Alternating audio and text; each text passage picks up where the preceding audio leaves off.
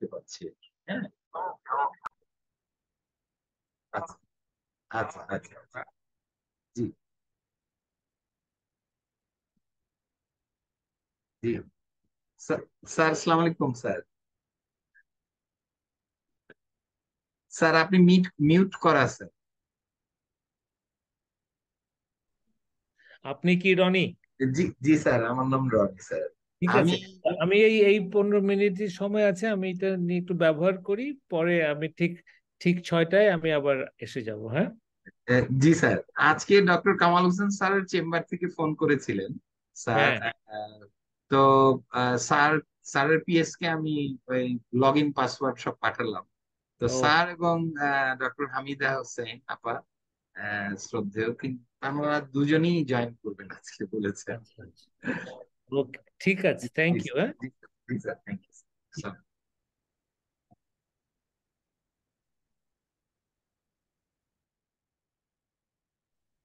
রনি ইসলাম আলাইকুম।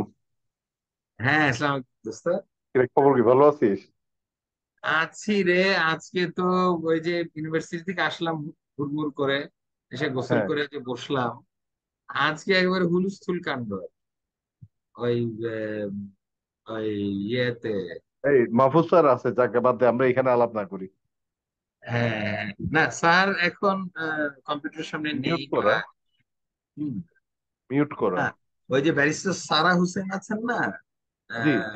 Barrister Sara Hossain registration করেছে। আমি দেখলাম যে পরে পরে আবার আজকে ডক্টর কামাল হোসেন স্যারের চেম্বার থেকেও তার পিএস ফোন করেছিলেন যে তারা আজকে থাকতে চান? তা আমি তা আমাকে বললেন যে কামাল স্যার ওনাকে বলেছেন রেজিস্ট্রেশন করার করে ওনাকে পাঠাতে। তা আমি বললাম কামাল স্যার থাকবেন ডক্টর হামিদা হোসেন থাকবেন হ্যাঁ। ওনাদের রেজিস্ট্রেশন লাগবে না। আমি পাঠায় পাঠিয়ে দিচ্ছি। এই আর মার্শাল্লাহ যাক সুন্দর ইভেন্ট হোক। আমিও নামাজটা পড়ে নিই জাস্ট হ্যাঁ জীবনের মধ্যে প্রিয় নামাজ পড়ে নিয়ে পারলে হ্যাঁ ইনশাল্লাহ হ্যাঁ? হ্যাঁ হ্যাঁ ঠিক আছে। ওকে দোস্ত।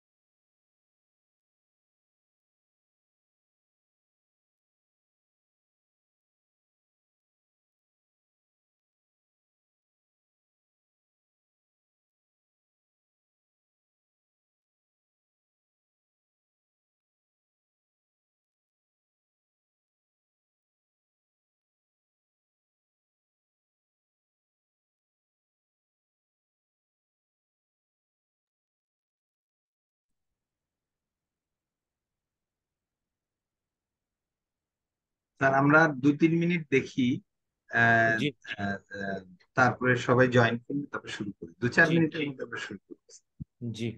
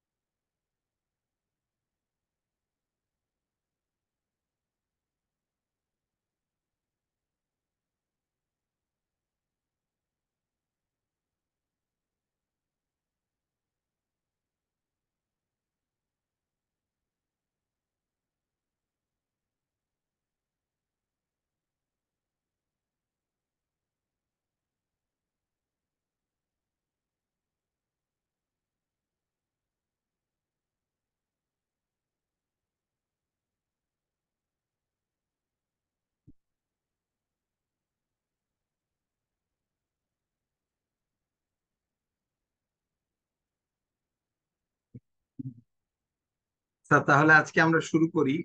অনেকে জয়েন করেছেন আরও জয়েন করছেন। তো আমরা স্যার আজকে শুরু করি। হ্যাঁ শুরু করো। থ্যাংক ইউ সকলকে শুভেচ্ছা এবং স্বাগত জানাচ্ছি আমাদের তোফাজ্জল হোসেন মানিক মিয়া পাঠচক্র যেটি বাংলার পাঠশালা ফাউন্ডেশনের তেরোতম পাঠচক্র। আম, আমাদের বাংলার পাঠশালার আহ, আজকের যে আয়োজন আয়োজনের মধ্যমণি জনাব মাহফুজ আনাম সম্পাদক দ্য ডেইলি স্টার আমরা অত্যন্ত সম্মানিত বোধ করছি এবং অত্যন্ত আনন্দিত যে মাহফুজ আনাম স্যার আমাদের সঙ্গে যুক্ত হয়েছেন। আজকে তিনি আলোচনা করবেন। আজকে আমরা আমাদের এই ছটা থেকে আটটা এই দু ঘণ্টার সেশনকে আমরা মোটামুটি চারটা ভাগে ভাগ করেছি। প্রথমে আমরা এই পাঠচক্র এবং বাংলার পাঠশালার উদ্দেশ্য সম্পর্কে একটু আমি বলব। তারপরে মাহফুজ আনাম স্যারের ভূমিকা দেওয়ার কিছু নেই কিন্তু আমাদের এখানে অনেক তরুণরা রেজিস্ট্রেশন করেছেন যারা একেবারেই বয়সে তরুণ। তো তাদের জন্য আম, আমাদের বক্তার সম্মানিত বক্তার একটু একটুখানি ব্যাকগ্রাউন্ড বলব এবং তার সম্পর্কে দু চারটে কথা বলব। তারপরে আমাদের শুরু হয়ে যাবে আমাদের মূল বক্তা যিনি, আজকের মধ্যমণি জনাব মাহফুজ আনাম স্যারের বক্তৃতা। বক্তৃতা মোটামুটি ঘণ্টা খানেক হবে এক ঘণ্টা বা পনেরো, এক ঘণ্টা পনেরো মিনিট। তারপরে আমরা চল্লিশ পঁয়তাল্লিশ মিনিট স্যারের কাছে আমরা প্রশ্ন উত্তর জন্য উন্মুক্ত থাকবে। আপনারা যেই প্রশ্ন করতে চান বা কোনো মন্তব্য করতে চান আনমিউট করে কথা বলুন। এই হচ্ছে মোটামুটি আজকে আমাদের পর্ব। তো আমি প্রথমেই শুরু করে দিতে চাই। বাংলা পাঠশালা ফাউন্ডেশন প্রতিষ্ঠা হয় দু হাজার নয় সালে এবং আজকে আমাদের বাংলার পাঠশালার উদ্দেশ্য এক কথায় বলতে গেলে একজন, একটি সমৃদ্ধ ও ন্যায্য সমাজের জন্য যে জ্ঞানগত নির্মাণ দরকার বা জ্ঞানগত উৎকর্ষতা দরকার, সেইটাকে লক্ষ্য রেখে আমরা বিশেষ করে তরুণদের মাঝখানে চিন্তা এবং চর্চার একটি পরিসর উন্মুক্ত করতে চাই। আহ, সেজন্য আমি একটু আহ, আহ, পড়ছি অল্প একটু আহ, একটা শর্ট ইন্ট্রোডাকশন বাংলার Pathshala foundation is a non profit youth based social organization working to establish an equitable, classless, and free society. It aims to develop intellectually conscientized, conscientized youth who would uh, educate and prepare themselves to actively participate in the development of the country. its prime objective is to develop and disseminate pro people knowledge that would contribute towards this goal. Its activities include the uh, conduct of study circles on different uh, topics of social relevance, lecture series, seminars, workshops, and symposia. We also publish uh, different books, uh, collection of articles, booklets, and journals. Banglar Pathshala provides provides social services to the youth of Bangladesh to increase its social capabilities through the creation of knowledge and training for tertiary level education as supplementary courses আমি বাংলার পাঠশালা সম্পর্কে সংক্ষিপ্তভাবে বললাম। এরপরে আমাদের এই পাঠচক্রের আগে যে বারোতম পাঠচক্র হয়েছে, সেটা অমর্ত্য সেন স্যারের উপর হয়েছে, অমর্ত্য সেন পাঠচক্র। নাম ছিল হচ্ছে বাংলা ভাষায় অমর্ত্য সেন পাঠচক্র। সেখানে বারোটি লেকচার হয়েছে। আর এবার বারোতম পাঠচক্র শেষ করে আমরা আজকে তেরোতম পাঠচক্রে শুরু করেছি গত মাস থেকে। আজকে আমাদের তৃতীয় ক্লাস বা তৃতীয় সেশন। আজকে আমাদের প্রধান বক্তা জনাব Mahfuz Anam sir. Editor the Daily Star তার সম্পর্কে একটু সংক্ষিপ্তভাবে আমি আহ, তুলে ধরছি। আম, মাহফুজ আহ, মাহফুজ আনাম স্যার তিনি আহ, ঢাকা বিশ্ববিদ্যালয় থেকে অর্থনীতিতে অনার্স এবং মাস্টার্স করেছেন আহ, সত্তরের দশকের শুরুর দিকে। এবং আম, এবং তিনি এরপরে আজকের যে ডেইলি স্টার সেই ডেইলি স্টারের কো ফাউন্ডার এবং উনি হচ্ছেন সম্পাদক ডেইলি স্টারের এবং আম, আমাদের এবং ডেইলি স্টারের প্রকাশক উনি। আর হচ্ছে যে আমাদের also chairman and managing director and CEO of Media World Limited and and and um, he's um, um, um, তার কি কিছু um, সম্মাননা এবং এবং ক্রেডেনশিয়ালস এখানে বলছি। তিনি রনি আমার মনে হয় না এগুলোর দরকার আছে। আপনি আচ্ছা। আচ্ছা ঠিক আছে স্যার। আমি তোফাজ্জল হোসেন মানিক মিয়া আমাদের পাঠচক্রের যে মূল প্রতিপাদ্য আমাদের সেটা হচ্ছে গণতন্ত্র স্বাধীনতা ও গণতন্ত্রের সন্ধানে তোফাজ্জল হোসেন মানিক মিয়া। আজকে তার তৃতীয় ক্লাস, আজকে তার লেখা একমাত্র বই যেটা তার লেখার বইয়ের শিরোনাম হচ্ছে পাকিস্তানি রাজনীতির বিশ বছর। সেই বইটা সেই বইটা আমরা আপনাদেরকে গত সপ্তাহেই সার্কুলেট করেছি। এর আগেও যারা আগ্রহী ছিলেন তাদের মধ্যেও বিতরণ করা হয়েছে। এখন আশা করি আপনারা একটু পড়ে প্রিপারেশন এসছেন। সো আজকে এই বইটা ধরেই আলোচনার আলোচনা করবেন জনাব মাহফুজ আনাম স্যারকে।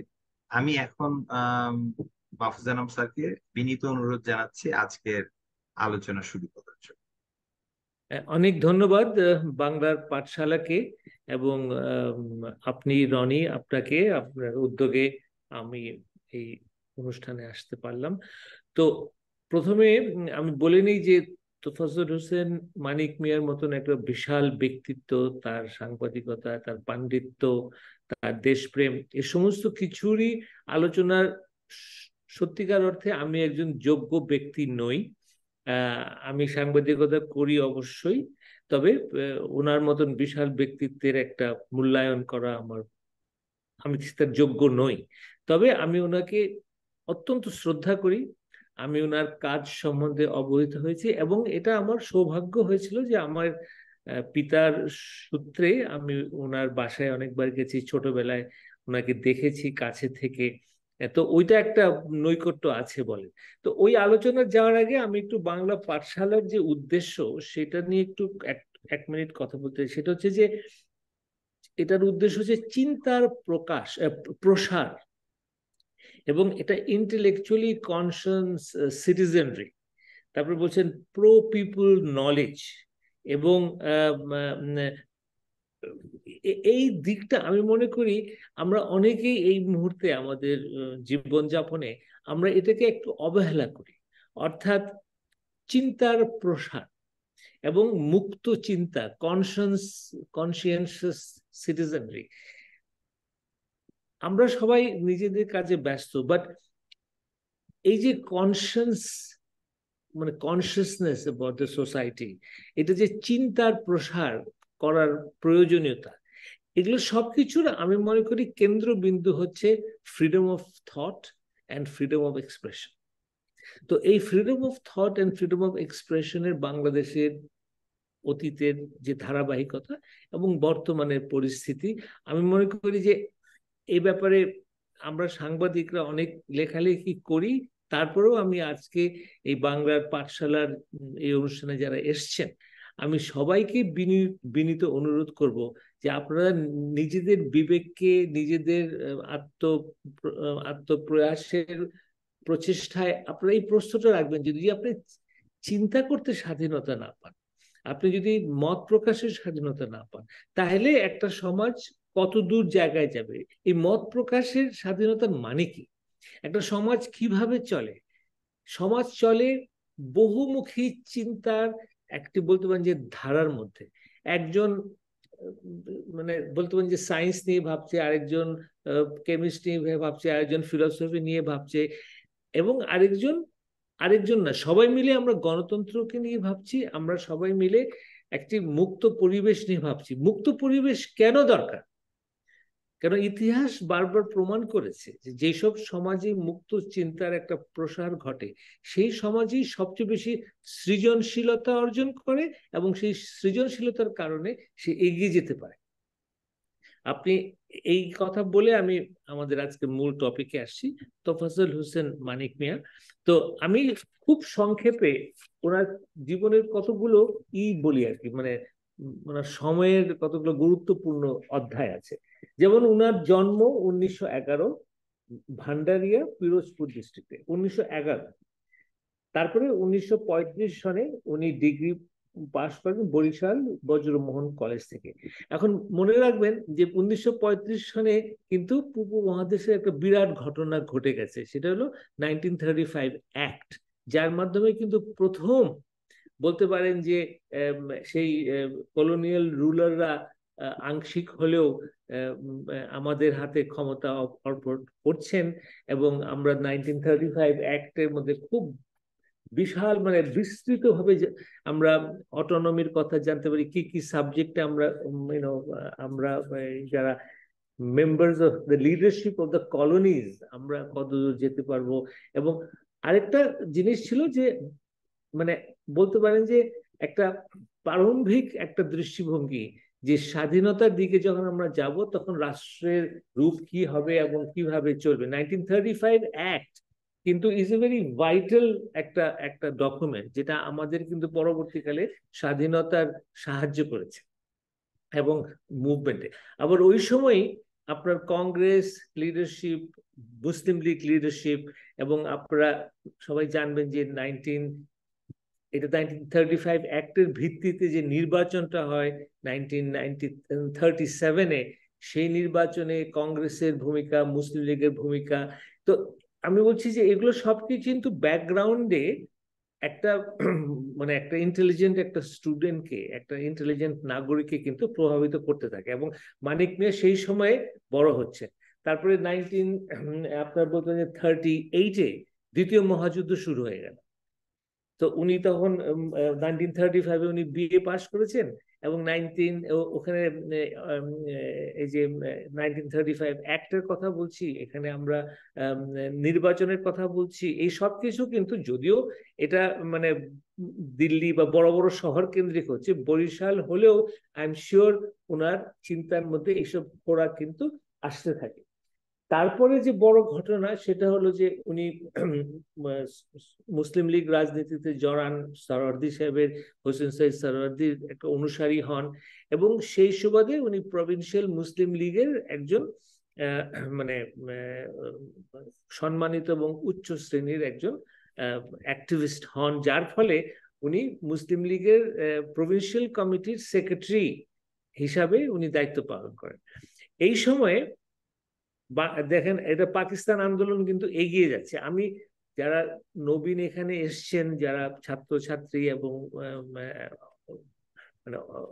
মধ্যবয়সী, তাদের জন্য বলছি যে, একটা ব্যক্তির যে, বিকাশ, বিশেষ করে একজন ব্যক্তি তফাজল হোসেন মানিক মিয়ার মতন, যিনি সমাজ, দেশ এবং আমাদের জাতীয় আন্দোলনের একজন বিরাট বলিষ্ঠ ব্যক্তিত্ব, তার যে উনি যখন বড় হচ্ছেন, উনি যখন মিডল এজড হচ্ছেন, উনি যখন মিডল এজ বলব না স্টুডেন্ট থেকে আরও এগোচ্ছেন, সেই সময়কার পরিবেশটা কিন্তু সাংঘাতিক প্রভাব রাখে।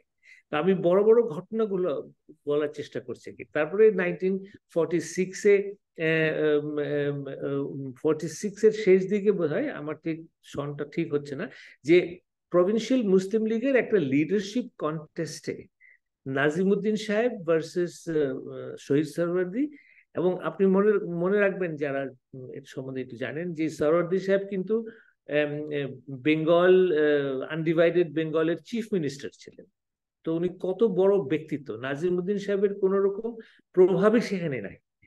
মানে অল ইন্ডিয়া আনডিভাইডেড বেঙ্গলের যে রাজনীতি, তার আগে ফজলুল হক উনি এই chief minister of undivided Bengal অনেক পরবর্তীকালে সরওয়ার্দি সাহেবের সেটা ছিল। বাট ওখানে নাজিম উদ্দিন সাহেবের আপনি যদি ইতিহাস দেখেন হ্যাঁ একটা নবাব পরিবারের ফ্যামিলি মেম্বার হিসেবে হয়তো ছিল বাট নাথিং কম্প্যারেবল কিন্তু সেই একটা প্রতিদ্বন্দ্বিতায় আমি কায়দে আজমের ইনফ্লুয়েন্সে এবং মুসলিম মানে মুসলিম লীগের যে বেসিক্যালি এন্টি বেঙ্গলি যে তাদের মূল ধারা, সেটার পরিপ্রেক্ষিতে সারদি সাহেবের পরিবর্তে তারা মেকানিজম করে নাজিমুদ্দিন সাহেবকে প্রভিন্সিয়াল বেঙ্গলের মুসলিম লীগ প্রভিন্সিয়াল চ্যাপ্টারের ওনাকে নেতা মানানো হয় এবং সারদি সাহেব হেরে যান। এটা এ কারণে গুরুত্বপূর্ণ যে মানিক মিয়া সাহেব একটা খুবই মানে একদম একটা কমিটেড সাপোর্টার ছিলেন সারদি সাহেবের। তো এই ডিফিটের ফলে উনি মুসলিম লীগের ওই সেক্রেটারি হিসেবে না আর থাকতে পারলেন না। এবং তখন সরদি সাহেবেরই উদ্যোগে একটা খবরের কাগজ প্রতিষ্ঠিত হয়েছিল, যেটার এডিটর ছিলেন আবুল মনসুর আহমদ। তো উনি ম্যানেজমেন্টের সাইডে আপনার মানিক মিয়া সাহেব ইত্তেহাদে আসলেন। এবং সেখান থেকে আপনি বলতে পারেন যে মানিক মিয়া সাহেবের সঙ্গে আবুল মনসুর সাহেবের একটা যোগ সুস্থ স্থাপন হয়। এবং সেখানে আবুল মনসুর আহমদ তার রাজনীতির পঞ্চাশ বছরে লিখেছেন যে সরওয়ার্দি সাহেব মানিক মেয়েকে এনে উনি বললেন যে মানিক আসলেও মানিক। এবং এটা বলতে গিয়ে উনি বললেন যে মানিক মেয়ের সাংবাদিকতার তেমন অভিজ্ঞতা না থাকলেও তার ম্যানেজমেন্ট যে দক্ষতা, এটা দেখে আমি মুগ্ধ। এবং সেইভাবেই অচিরেই আবুল মনসুর আহমদের সঙ্গে ওনার নৈকট্য হয় এবং আবুল মনসুর সাহেব ওনাকে অনুরোধ করেন যে উনি লেখালেখির দিকে আসবে, আসার জন্য। এবং মানিক মিয়া সাহেব প্রথমে বললেন যে, আমি তো লেখক নই আমি তো ম্যানেজমেন্টের দিকে আমার চিন্তা। বাট আবুল মসুর সাহেবের বলতে পারেন যে, অনুরোধেই উনি প্রথম লেখা দিলেন এবং এটা ইত্তেফাকের ইত্তেফাকের পৃষ্ঠায় ছাপা হলো। এবং ওইভাবেই ওনার একটু এক মিনিট।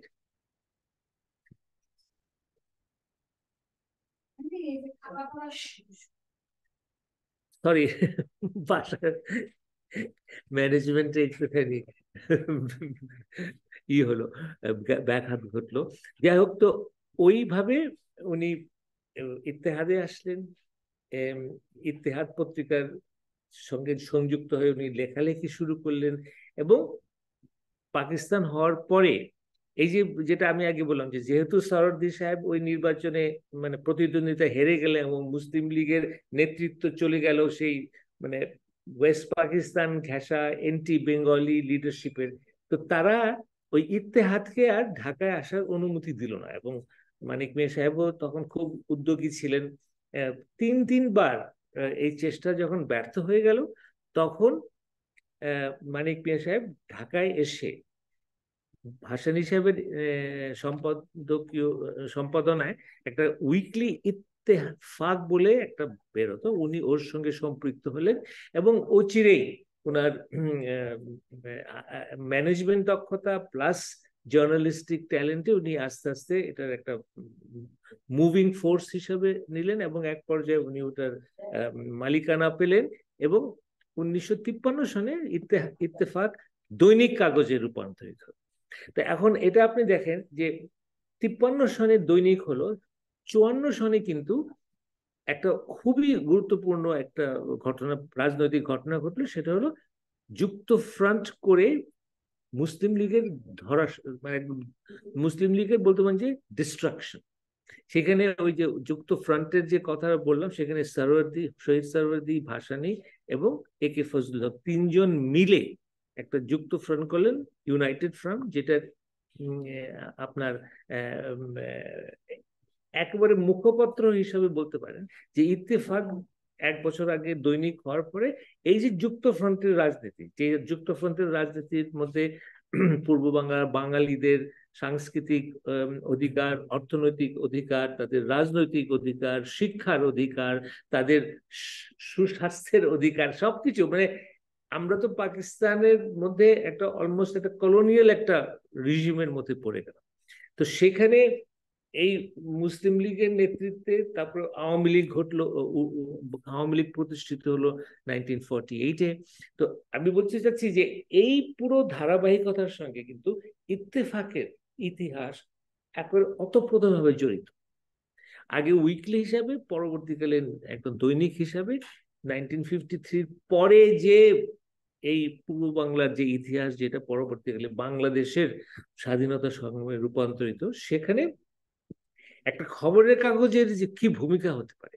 এবং আমি এই যে সাংবাদিক হিসেবে বলতে পারি আর কি যে, আমার এই ভূমিকাতে আমি এতই মানে প্রভাবান্বিত এবং এত ইমপ্রেস বলতে পারেন যে, একটা জাতির মানে মুক্তির প্রয়াস, তার স্বাধিকারের শক্তির যে আন্দোলন, তার মানে ডেমোক্রেটিক একটা সোসাইটি মানে করার যে ই হয় এবং তাদের অধিকার প্রতিষ্ঠা করা। পাকিস্তানের সামগ্রিক পাকিস্তানের মধ্যে বাঙালি যারা fifty six percent of Pakistan's population but who are ignore politically আমার in terms of members in the military in terms of administration আপনি যেভাবে বলেন একটা স্ট্রেট সরি স্টেট স্ট্রাকচারের যে কতগুলো মূল অঙ্গ, সেখান থেকে মানে একেবারে মানে বাঙালিদেরকে তাদের অধিকার প্রতিষ্ঠা করতে না দেওয়া। তো এই আমি বলতে চাইছি, এই কথাটা আর কি, যে একটা খবরের কাগজ তার লিডারশিপ এবং মানিক মিয়া তার সম্পাদক হিসেবে যে ভূমিকাটা পালন করেছেন, সেটা মানে অত্যন্ত গুরুত্বপূর্ণ, অনেক কিছুই শিক্ষণীয় এবং অনুকরণীয়। তো আমি খুব যদি এটা বিস্তারিত পরে করব বাট দ্রুত যদি যাই ফিফটি থ্রিতে ইত্তেফাক হলো ফিফটি ফোরে যুক্তফ্রন্ট ইলেকশন হলো ফিফটি সিক্সে পাকিস্তানের প্রথম যে আপনার সংবিধান, সেটা রচিত হলো এবং পার্লামেন্টে সেটা বিতর্ক হলো, পাকিস্তান পার্লামেন্টে। সেটা ইত্তেফাক তার মানিক মিয়া সাহেবের নেতৃত্বে সেটা তারা কীভাবে দেখল এবং তার সেখানে যে গণতান্ত্রিক মূল্যবোধের যে একটা আপ্রাণ চেষ্টা প্রভিন্সিয়াল অটোনমি কি এই কনস্টিটিউশনে ফেডারেল স্ট্রাকচার প্রভিন্সিয়াল অটোনমি কতদূর থাকবে, সেখানে বাঙালি অধিকার কীভাবে সুপ্রতিষ্ঠিত হবে? আচ্ছা একটা কথা আমি মাঝকে ওভারলুক করলাম যে ভাষা আন্দোলন, আমাদের ভাষা আন্দোলনে যে একটা বিরাট বলতে পারেন যে প্রবাহ এবং সেখানে যে আমাদের জাগরণের যে সৃষ্টি, সেখানেও ইত্তেফাক প্রথমে উইকলি হিসাবে, পরবর্তীকালে মানে উইকলি হিসাবেই বাউন্নের সময় ছিল। তিপ্পান্নতে যখন দৈনিক হলো, তো ওটাও কিন্তু একটা বিরাট অবদান আপনার ইত্তেফাকের ছিল। অর্থাৎ almost a newspaper became একটা একটা জাতিসত্তার একটা মুখপত্র। তো সেই সেইভাবে আমি যদি প্রোগ্রেশনটা কন্টিনিউ করি, তাহলে নাইনটিন ফিফটি সিক্স কনস্টিটিউশন তারপর সেটা নিয়ে ডিবেট নাইনটিন ফিফটি শেষ থেকে ফিফটি সেভেনের অক্টোবর পর্যন্ত সরওয়ার্দি সাহেবের নেতৃত্বে সেন্ট্রাল ক্যাবিনেট আতারন সাহেবের নেতৃত্বে প্রভিন্সিয়াল ক্যাবিনেট সেটার একটা ধারাবাহিকতা। এবং অক্টোবর নাইনটিন ফিফটি এইটে আইয়ুব খানের নেতৃত্বে বাং পাকিস্তানের সর্বপ্রথম মার্শাল ল জারি। এবং এই মার্শাল লর বিরুদ্ধে অবশ্যই ইত্তেফাকের খুব স্ট্রং অবস্থান ছিল। এবং সেখানে মার্শাল হওয়ার পরে বিভিন্ন সময়ে আপনার মানিক মিয়া সাহেবকে কারাবরণ করতে হয়েছে। ইত্তেফাককে, ইত্তেফাকের উপরে আঘাত এসছে। এবং ইত্তেফাক, আপনি চিন্তা করেন নাইনটিন সিক্সটি থ্রিতে এর এর আগেও আংশিকভাবে দু একবার ইত্তেফাক বোধহয় বন্ধ হয়েছে। I am not very sure আমি জোর দিয়ে বলছি না বাট যেটা খুবই লক্ষণীয় যে উনিশশো তেষট্টি সনে সামরিক ধারা বিরুদ্ধ আচরণের জন্য ইত্তেফাককে ব্যান করে দিল। ইত্তেফাককে ব্যান করে দিল এবং ইত্তেফাকের প্রেস কাকে বাজেয়াপ্ত এবং তার আরও দুটো পাবলিকেশন ছিল ঢাকা টাইমস এন্ড পূর্বাণী এগুলোকেও তারা বন্ধ করে দিল। তো আপনি চিন্তা করেন, একটা রাষ্ট্র কীভাবে তার সমস্ত শক্তি দিয়ে একটা খবরের কাগজকে বন্ধ করে দিল। এবং এখান থেকেই বোঝা যায় যে সৎ, নিষ্ঠাবান সাংবাদিকতার কি সাংঘাতিক প্রয়োজন, আবার অন দি আদার হ্যান্ড তার কি গুরুত্ব? এই ইত্তেফাককে ব্যান করে দিল নাইনটিন সিক্সটি এবং এটা, এই এই আপনার ব্যানটা কন্টিনিউ করল all through sixty four sixty five sixty six sixty seven sixty eight sixty নাইনের ফেব্রুয়ারিতে আবার মানে একটা সাংঘাতিক বড় গণজাগরণের প্রতিফলন হিসাবে এবং সেখানে গণতন্ত্রের বিরুদ্ধে এবং আপনার এটাও আবার বলা দরকার যে বঙ্গবন্ধুর বিরুদ্ধে আগরতলা মামলা দিল আইয়ুব আইয়ুব সরকার। তো সেই মামলাকে প্রতিহত করার জন্য ইত্তেফাকের পুনরুদ্ধার করার জন্য গণতন্ত্রের জন্য একটা কিন্তু আন্দোলন হয়ে আসছিল। সেটার সঙ্গে আরও সম্পৃক্ত হলো ছাত্র নেতৃবৃন্দের নেতৃত্বে এগারো দফা সংগ্রাম যেটা জানুয়ারি নাইনটিন সিক্সটি নাইনে শুরু হলো। এবং সেই সিক্সটি নাইনের জানুয়ারি শুরু হওয়ার পরিপ্রেক্ষিতে এবং এটা আপনারা যারা ওই সময় নিজেরা ছিলেন না চিন্তা করতে পারবেন না যে এটা গণজাগরণ মানে একটা প্রতিফলন ঘটানোর জন্য যে রাজনৈতিক মুভমেন্টগুলো আসে, তার আকার, তার তার তার প্রকাশ এবং তার মধ্যে যে, তাদের মধ্যে যে, কি বলব, একটা আত্মশক্তি, এই সমস্ত কিছুর সামনে সামরিক সরকার বাধ্য হলো, বঙ্গবন্ধুর বিরুদ্ধে মামলা প্রত্যাহার করল আমি ঠিক তারিখগুলো আমার মনে নাই কিন্তু ইত্তেফাককে তারা ছাড়তে বাধ্য হলো। আমার মনে হয় ফেব্রুয়ারি সিক্সটি নাইনে ইত্তেফাক আবার পুনর্প্রকাশ শুরু করল।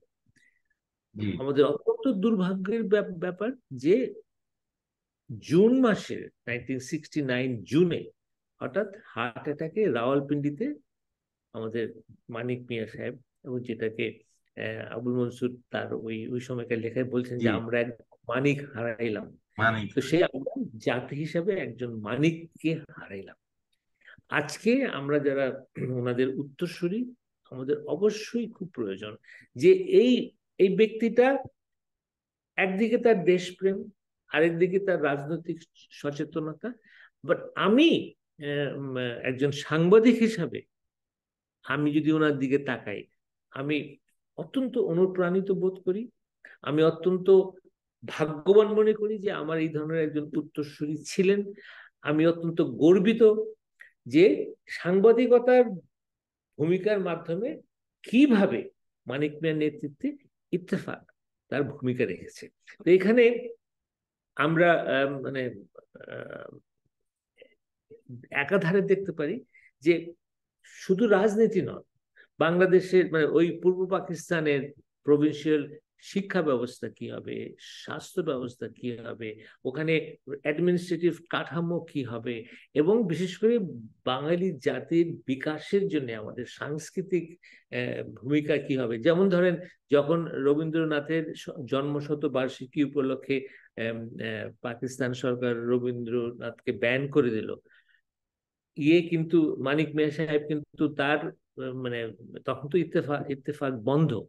কিন্তু তার অন্যান্য সামাজিক ভূমিকার মাধ্যমে, বিভিন্ন সংগঠনের সঙ্গে জড়িত হওয়ার মাধ্যমে উনি কিন্তু একটা খুব বিরাট একটা ভূমিকা রেখেছিলেন প্রতিবাদের।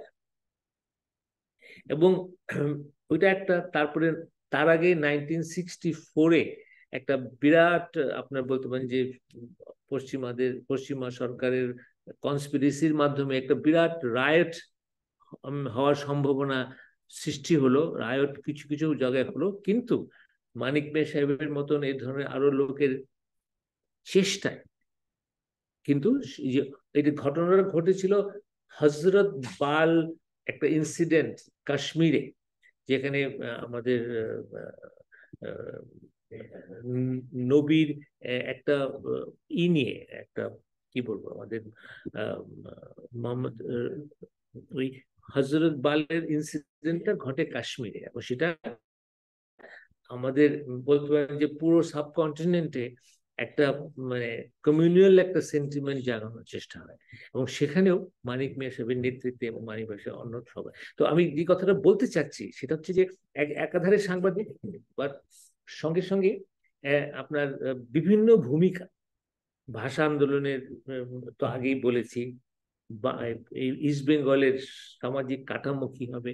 আমাদের শিক্ষানীতি, আমাদের স্বাস্থ্যনীতি, আমাদের কি কাঠামো, আমাদের প্রশাসনের কাঠামো, এই সব ব্যাপারে কিন্তু ওনার একটা বিরাট একটা বলতে যে গভীর এবং খুবই ইন্টেলেকচুয়ালি রিচ একটা ভূমিকা উনি পালন করেছেন। ইট ইজ আমাদের মানে পাকিস্তানের সরকারদের, পাকিস্তানের শাসকদের জন্য দুর্ভাগ্য যে ইত্তেফাকটাকে বন্ধ রেখে from sixty three to sixty nine এই ছয় বছর বন্ধ রেখে তারাও কিন্তু একটা বিরাট, যেটাকে বলে আর কি যে পাবলিক অ্যাওয়ারনেস বা পাবলিক ইন্টেলেকচুয়াল ইনপুট থেকে তারা নিজেদেরকে বঞ্চিত করেছে।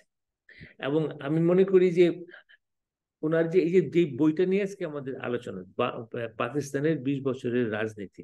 তো সেখানে আমি একটা ওনার ওই ইন্ট্রোডাকশনে আমি একটা প্যারাগ্রাফ পড়ে আপনাদের শোনাতে চাই যে, কি ধরনের মানে ওনার একটা চেতনা বোধ ছিল। এই বইতে একটা টপিক কিন্তু বারবার ঘুরে আসে। সেটা হচ্ছে গণতন্ত্র, সেটা হচ্ছে সুশাসন। তো এখানে মানিক সাহেব লিখছেন থ্রু আউট দ্য বুক এটা আমার বক্তব্য আর কি throughout the book one topic was visited frequently the danger of unrestrained power referring to the successive autocratic rules in the first 20 years of Pakistan, Manik Mia warned that naked and unbridled power creates such egoism in the human mind that it destroys common sense, morality, and even fear of God. When all state power is concentrated in the hands of a single person, Ayub Khan single person, there is never a shortage of flatterers in the hope of gaining his favor. They gather, they gather around the powerful person, and instead of informing him about the real situation of the country, the grievances of the people of the country, and the right attitude and thoughts needed to address these grievances, they keep him in the dark by repeating, everything is fine, everything is fine. এটা ওই পৃষ্ঠার ওই বইয়ের তেইশ পৃষ্ঠায় বাংলাতে আছে আমি এটাতে দিস হ্যাজ বিন ট্রান্সলেটেড তো এখন মানে আই মিন এই কথাগুলো আমি মনে করি যে সমস্ত ডেমোক্রেটিক অ্যাসপায়ারিং পিপলদের জন্য একেবারে একটা, কি বলব, একটা আর্টিকেল অফ ফেথ হওয়া উচিত। এবং it is seen throughout history Manik Mia sahib যে উপলব্ধিটা উনি এখানে উপস্থাপন করলেন, সেই উপলব্ধি আরও আগের ক্ষেত্র প্রযোজ্য, আবার পরের ক্ষেত্র প্রযোজ্য। যেসব সমাজ আনফর্চুনেটলি এই দিকে গেছে, সেই সেই দিকে গেলে কি পরিণতি হয়? তার উনি খুব একটা, আমি মনে করি খুব অ্যাপ্রোপ্রিয়েট একটা উনি বিবরণ এখানে দিলেন এবং ইন কোয়াইট ডিটেল যে কারণে আমি এই প্যারাগ্রাফটা পড়লাম। তো এখন একাধারে রাজনৈতিক সচেতনতা সচেতনতা পেট্রিয়টিজম জন, জনগণের প্রতি ভালোবাসা এবং জনগণের স্বার্থের স্বার্থকে উন মানে উন্নত রেখে সাংবাদিকতা। So what ultimately Manik Mia sahib আমার জন্য একজন একজন সাংবাদিকের জন্য what he represents is the fundamental যেটাকে আমি বলব ইথস অফ জার্নালিজম যে সাংবাদিকতা তখনই সত্যিকার অর্থে আপনি বলতে পারেন যে গণমুখী হয়, যখন সেই সাংবাদিকতা সত্য প্রকাশে নির্ভীক থাকে, সেখানে পাওয়ারকে চ্যালেঞ্জ করার মতন সাহস রাখে। আপনি খালি চিন্তা করে দেখেন যে মানিক মিয়া সাহেব প্রায় তিনবার উনি জেল খেটেছেন। একবার, এবং তার আগে আমি ঠিক সনটা মনে নাই, ইত্তেফাক কিছুদিনের জন্য বন্ধ ছিল। উনি নিজে তিনবার বোধহয় জেলে গেছেন। এবং একবার, এক বছর আরেকবার, আমি ঠিক ওটা আমার কাছে নেই ওই তথ্যটা, কিন্তু উনি আমার ধারণা তিনবার জেলে গেছেন এবং ইত্তেফাক বন্ধ হয়েছে। তারপরেও উনি সাহস থেকে এক পা পেছাননি, ন্যায্য কথা বলার থেকে এক পা পিছনে একটা চিন্তা করেন, একটা কাগজের সম্পাদক এবং অবশ্য উনি প্রকাশক এবং ওই সময়ে উনি সেটার মালিকও বটে, উনি যে লিখছেন, উনি তো জানছেন যে খর্গ তার মাথায় পড়বে। উনি জানছেন যে রাষ্ট্র যে কোনো মুহূর্তে করতে একটা সাংঘাতিক একটা ড্রাস্টিক ডিসিশন নিতে পারে। বাট উনি তো ওনার কাজ থেকে, কর্তব্য থেকে, চিন্তা থেকে ওনার যে আদর্শ থেকে উনি তো পেছন দিকে যাননি। এবং যার ফলে আপনার কাগজটা ছয় বছর কাল বন্ধ থাকে। আপনি চিন্তা করেন, পাকিস্তানের জন্ম হচ্ছে ফর্টি সেভেন আর উনি মারা গেলেন আপনার সিক্সটি নাইন তো ওনার এই বইটা হলো twenty years of Pakistani politics তার মধ্যে আমার মনে হয় একসঙ্গে তো ছয় বছর, তার আর মিলে এই কাগজটা বন্ধ। এবং আপনি চিন্তা করেন এটা আমি আপনাদের এই সব আপনাদের দর্শকদের জন্য বলছি যে এই কাগজের ভূমিকা এতই মানে কি বলব, প্রয়োজনীয় এবং সময় উপযোগী ছিল এবং এত বেশি জনগণের আশা আকাঙ্ক্ষার প্রতিফলন করত যে যখন পাকিস্তানিরা জেনোসাইড শুরু করল টোয়েন্টি ফিফথ মার্চ সেভেন্টি ওয়ানে one of the first institution they destroyed was Ittefaq এবং এবার মানে ব্যান্ডের দূরের কথা মানে একটা ধুলিসাত করে দিল। Physically the office the press it was মানে আপনার কামান দাগিয়ে ট্যাঙ্ক চালিয়ে ইত্তেফাককে একদম বলতে পারেন যে মাটির সঙ্গে মিশিয়ে দিল। তো অত্যাচারীর এতই ঘৃণা, একটা ফ্যাসিস্ট গভর্নমেন্টের জেনোসাইডাল গভর্নমেন্টের এত ঘৃণার কারণ কেন? কেননা ইত্তেফাক মানিক মেশাবের নেতৃত্বে সে সত্য কথা বলেছে এবং বাঙালির স্বার্থের একেবারেই একটা মুখপাত্র হিসেবে কাজ করেছে। তো এই যে ভূমিকা তফাজুল হোসেন সাহেব তফাজুল হোসেন মানিক মেয়ার এটা আমাদের জন্য সমস্ত সাংবাদিকদের জন্য অনুপ্রেরণার অনুপ্রেরণার উৎস হওয়া উচিত বলে আমি মনে করি। এবং এনারা আমাদের উত্তরস্বরী তো মানিক ভাই সাহেবের মতন সাংবাদিক যদি আমাদের পথিকৃত হন, তাহলে আমরা কেন সাংবাদিকতাকে ওই স্তরে নিয়ে যাব? একটি পার্থক্য আমি এখানে বলতে চাই যে মানিক মেয়ে সাহেবের সময়কার সাংবাদিকতার সঙ্গে এখনকার, সেটা হচ্ছে যে ওই সময়ে the political agenda was supreme অর্থাৎ আমরা পাকিস্তানের একটা অংশ এবং সে পাকিস্তানের একটা প্রভিন্স হিসাবে আমরা পশ্চিম পাকিস্তানের দ্বারা নিগৃহীত, শুধু অর্থনৈতিক ভাবে না সামাজিক ভাবে সংস্কৃতির ক্ষেত্রে, শিক্ষার সবকিছুর ক্ষেত্রে। তো ওই সময় সাংবাদিকতাটা মূলত ফোকাস ছিল আমাদের স্বাধিকারের আন্দোলনের একটা মানে কণ্ঠস্বর হিসেবে। কিন্তু স্বাধীন দেশে যখন আমরা দেশ স্বাধীন হয়ে গেল তখন কিন্তু সাংবাদিকতার যে একটা ধারা, অর্থাৎ আমার আমার স্বাধীনতা দরকার, আমার আন্দোলনকে আমি আরও বেশি শক্তিশালী করব, ওইটা কিন্তু প্রয়োজন এক সেন্সে চলে গেল বিকজ আমি স্বাধীনতা অর্জন করেছি।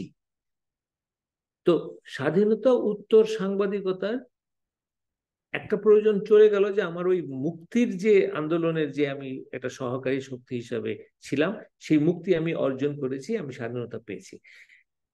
এই মানে পোস্ট বাংলাদেশ জার্নালিজমের মূল দায়িত্ব হবে দেশ গড়া। ওটা ছিল দেশের দেশ স্বাধীন করা, এটা হবে দেশ গড়া। তো এই দেশ গড়ার সাংবাদিকতা আর দেশকে স্বাধীন করার সাংবাদিকতার মধ্যে একটা মূল পার্থক্য হচ্ছে যে ওখানে ছিল মূল ধারাটা ছিল শত্রুকে প্রতিহত করা। আর এখানে মূল ধারাটা হবে নিজের দেশকে সুশাসনের দিকে, অর্থনৈতিক প্রাচুর্যে নিয়ে যাওয়া। তো এই কাজটা কিন্তু তাহলে আমাদের তখন সাংবাদিকতার ভূমিকাটা আরও বেশি প্রসারিত হয়। আপনি তখন সরকারকে বলবেন বিভিন্ন, তুমি কি পলিসি নিচ্ছ যেটা ভুল হচ্ছে বা কোন পলিসি নিলে তুমি সঠিক পথে যাবে? এটা কিন্তু পাকিস্তানি শাসকদের বলার আমাদের মানে বলে কোনো লাভ হতো না বিকজ পাকিস্তান শাসকরা তো ছিল আমাদেরকে নিপীড়ন করার ক্ষেত্রে। বাট আমি যখন স্বাধীন বাংলাদেশের মুক্ত পরিবেশ পেলাম, তখন সাংবাদিকতার দায়িত্বটা আমার দৃষ্টিভঙ্গিতে আরও বেশি প্রসারিত হলো, আরও বেশি গুণগতভাবে বলতে পারেন যে গুণগতভাবে আরও সফিস্টিকেটেড আকার ধারণ করল। এখন তাহলে তাহলে কি দেবে আমার নির্বাচিত, আমি একদিকে গণতন্ত্রের জন্য কথা বলব, আমি একদিকে সুশাসনের জন্য কথা বলব, একদিকে আমি দুর্নীতির বিরুদ্ধে কথা বলব। এটা তো আমার দেশ এখন। আমার দেশকে সু সঠিকভাবে পরিচালনা করার জন্য সাংবাদিকতার দায়িত্ব হচ্ছে দেশ গঠনের সাংবাদিক। সুষ্ঠু নির্বাচনের সাংবাদিকতা, আপনার গুড গভর্নেন্সের সাংবাদিকতা করাপশনের বিরুদ্ধে সচ্চার হওয়ার সাংবাদিকতা। সুশাসনের পক্ষে সাংবাদিকতা। আমার দেশের লুট, সম্পদ যারা লুট করে বিদেশে পাচার করছে, তাদের বিরুদ্ধে সোচ্চার হওয়া। অর্থাৎ আমার, আমি এটা দেশ পেয়েছি। আমার দেশপ্রেমের প্রকাশ এখন হবে দেশকে সুষ্ঠুভাবে এগিয়ে নিয়ে যাওয়া। যার ফলে এই সাংবাদিকতা হবে কিন্তু বহুমুখী এবং তার মূল ভিত্তি হবে বাক স্বাধীনতা সংবাদপত্রের স্বাধীনতা। আমি এই তো পার্থক্য করছি।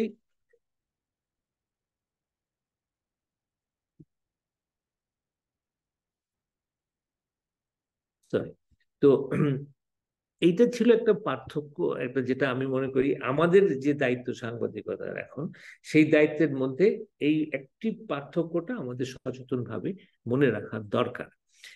কিন্তু সৎ সাংবাদিকতার ব্যাপারে, সাংবাদিকতার মানে তার তার চারিত্রিক গুণাবলীর ব্যাপারে, তার যে সততা এবং এখানে দেখেন যে মানিক মে সাহেব পাকিস্তান, উনি যদি বিন্দুমাত্র কম্প্রোমাইজের দিকে যেতেন তাহলে উনি কি কি না উনি মানে তার সুবিধা সুবিধা অর্জন করতে পারতেন?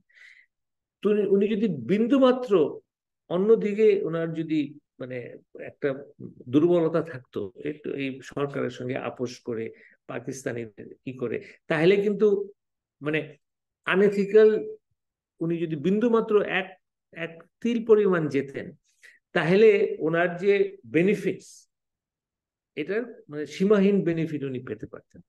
এবং অল অবভিয়াসলি মানিক মে সাহেব তো খুবই অর্থনৈতিক অনটনের মধ্যে ইত্তেফাককে চালিয়েছেন, ইত্তেফাককে এগিয়ে নিয়ে গেছেন এবং আমি তো জানি অ্যাজ এন এডিটর যে সরকারের বিজ্ঞাপন বন্ধ কীভাবে হতে পারে, সরকার বিভিন্ন জায়গায় বিভিন্নভাবে কীভাবে চাপ সৃষ্টি করতে পারে। তো পাকিস্তান সরকার অবশ্যই মানিক মিয়ার উপরে সেই চাপ সৃষ্টি করেছে। অবশ্যই ইত্তেফাককে বিভিন্নভাবে মানে ক্ষতি করার চেষ্টা করেছে।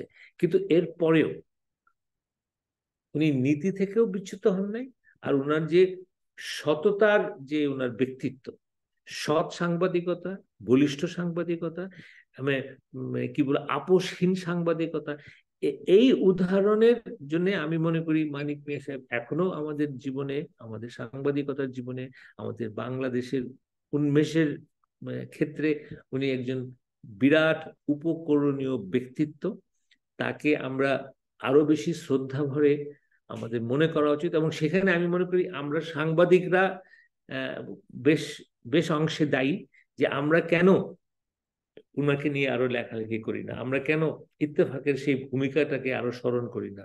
এরকম আমাদের যারা ওই ধরনের মানে মানিক মিয়া সাহেবের আমি মনে করি ভূমিকাটা খুবই খুবই উচ্চ মার্গের এবং একটা উজ্জ্বল নক্ষত্রের মতন, বাট উনি ওনার মতন না হলেও আরও এরকম সাংবাদিক ছিলেন।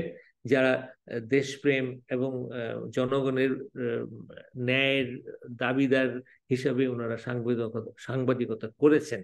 আমরা তাদেরকে আরও স্মরণ করা উচিত। আমাদের বর্তমান সাংবাদিকতার মাধ্যমে, আমাদের বিভিন্ন কার্যকলাপের মাধ্যমে। আমরা যদি উত্তর শরীরকে যথেষ্ট সম্মান না দেই, তাহলে আমরা ধরে নিতে পারি যে ভবিষ্যতের প্রজন্ম আমাদেরকেও কোনো ধরনের সম্মান তারা করবে না। আমাদের ট্রেডিশনটা সেট করতে হবে। This is also I think part of ethical journalism যে উই রেসপেক্ট পিপুল এবং সেটা শুধু সাংবাদিকতার মধ্যেই না, সাংবাদিকতার কথা বলছি কেন? আমি একজন সাংবাদিক। কিন্তু আমাদের দেশে যারা অবদান রেখেছেন, বিভিন্ন ক্ষেত্রে শিক্ষা, স্বাস্থ্য, রাজনীতি আপনার আইন, ব্যবসায়, যারা যারা সত্যিকার অর্থে একটা মডেল হিসাবে আমাদের দেশে অবদান রেখেছেন। আমি মনে করি আমরা সবাইকেই আমাদের আরও তো আরও গুরুত্ব সহকারে তাদের কথা জানা এবং তাদের সম্বন্ধে এই নবীন যে যারা আমাদের আছেন, নতুন প্রজন্ম তাদেরকে সচেতন করা। এবং সেই প্রসঙ্গে আমি বলতে চাই, এই বাংলার পাঠশালার এই উদ্যোগ আমি নিজেও আমি স্বীকার করব যে এই মানিক সাহেবের এই, আজকে এই আলোচনায় অংশগ্রহণ করার খাতিরে আমি যেসব জিনিস তথ্য নিজে আবিষ্কার করলাম, বই পড়লাম তাতে আমিও কিন্তু উপকৃত হলাম। এই এই অনুষ্ঠানটা না হলে হয়তো আমি এত দ্রুততার সঙ্গে এত কিছু পড়তাম না। সো আমারও গাফিলতি এখানে আছে। আমার মতন আমি মনে করি আরও অনেক সাংবাদিকদের গাফিলতি আছে, যেটা আমাদের অবশ্যই উত্তরণ করা দরকার। সত্যিকার অর্থে বাংলাদেশকে আমরা যদি সমৃদ্ধির দিকে নিতে চাই, সেখানে আমি আবার আসি বাংলার বাংলার এই ইয়ের, আপনাদের এই উদ্যোগে যে মুক্ত চিন্তা, সুস্থ চিন্তা, খালি দেশপ্রেম, দেশ ভালোবাসার একটা বহিঃপ্রকাশ হতে হবে। দেশকে অবশ্যই আমরা ভালোবাসি বাট অন্ধভাবে একটা ভালোবাসার প্রকাশ আরেকটা হলো খুব সচেতন ভাবে অত্যন্ত বিচক্ষণতার সঙ্গে। আমরা রিসার্চ করে, পড়াশোনা করে, এটার ভেতরে ঢুকে দেশপ্রেমকে বলিষ্ঠ করা, এই দুটোর মধ্যে পার্থক্য আছে। একটা মোর সাস্টেনেবল আর একটা ইট ইজ নট আমার দেশপ্রেমের মধ্যে অবশ্যই ইমোশন থাকবে, অবশ্যই ভালোবাসা, আমার হৃদয়ের সঙ্গে এটা টান থাকবে, কিন্তু সেটার সঙ্গে যোগ করতে হবে আমার intellectual ability we have to make every part of our activity just as emotionally powerful equally if not more intellectually powerful and intellectual পাওয়ারের মানে হচ্ছে fact based opinion research based findings আজকে দেখেন আমাদের দেশের রিসার্চের এত ই কেন? দুর্বলতা কেন? এবং আমরা পিছিয়ে যাই অনেক ক্ষেত্রে। যেহেতু আমরা যথেষ্ট রিসার্চের মধ্যে আমরা সম্পদ আমরা ঢালি না। ইনফ্যাক্ট এই এই এই কথা প্রসঙ্গে আমি বলি ফেলি আর কি, সেটা হলো যে ইনভেস্টিং ইন রিসার্চ যেটা আমাদের দেশে খুব অপ্রতুল এটা আমাদের মানে ইন দ্য লং টার্ম আমাদেরকে বিরাট ক্ষতি করবে So then research on Tafazul Hussain Manik Mia. There should be scholarships on research on prominent journalists, on prominent uh, you know scientists, prominent social scientists, prominent historian. তাহলে তো আমরা জানব যে আমরা কি? আমাদের অতীতের যারা গুরুজন ছিলেন তাদেরকে সামষ্টিকতাভাবে জানলেই তো আমরা বুঝব যে আমাদের ঐতিহ্যতা কি? কোথায় দুর্বলতা? কোথায় আমাদের ইউনো শক্তি আছে? কাদের কাছ থেকে আমি শক্তি সঞ্চয় করব? কোথায় গেলে আমি অনুপ্রেরণার একটা উৎস পাবো? তো সেটার তো একটা সমাজের তো সেই অ্যাটিচিউড হতে হবে। সত্যিকার অর্থে যে আমি সবাইকেই জানব অ্যাটলিস্ট অনেককে জানব, সবাইকে না জানতে পারলে অনেক অনেককে জানব এবং ক্ষেত্র বিশেষ জানব এবং তাদেরকে সম্মান করব। তো আমি এই মুহূর্তে তহজুল হোসেন মানিক মিয়া সাহেবের প্রতি আমার আন্তরিক শ্রদ্ধা জানাই এবং সত্যিকার অর্থে আমি একজন মানে সাংবাদিক, সাংবাদিকতার ক্ষেত্রে উত্তরসূরি হিসাবে আমি খুবই একেবারে বলতে পারেন যে মানে ব্যর্থহীন ভাষায় বলতে পারব যে, ওনার জীবনী পড়ে, ওনার বিভিন্ন লেখনী পড়ে আমি অনেক অনুপ্রাণিত এবং অনেক ক্ষেত্রেই ওনাকে মডেল ধরে আমি নিজে সাহস যোগাই, এটাও আমি বলতে পারব। তো অনেক ধন্যবাদ আপনাদের এই উদ্যোগের জন্য এবং আমি এটুকু বলতে পারি যে, আমি যাই বললাম মানিক মিয়া সম্বন্ধে এটা অত্যন্ত মানে বলতে পারেন যে এটা যথেষ্ট নয়, যথেষ্টর কাছাকাছিও নয়।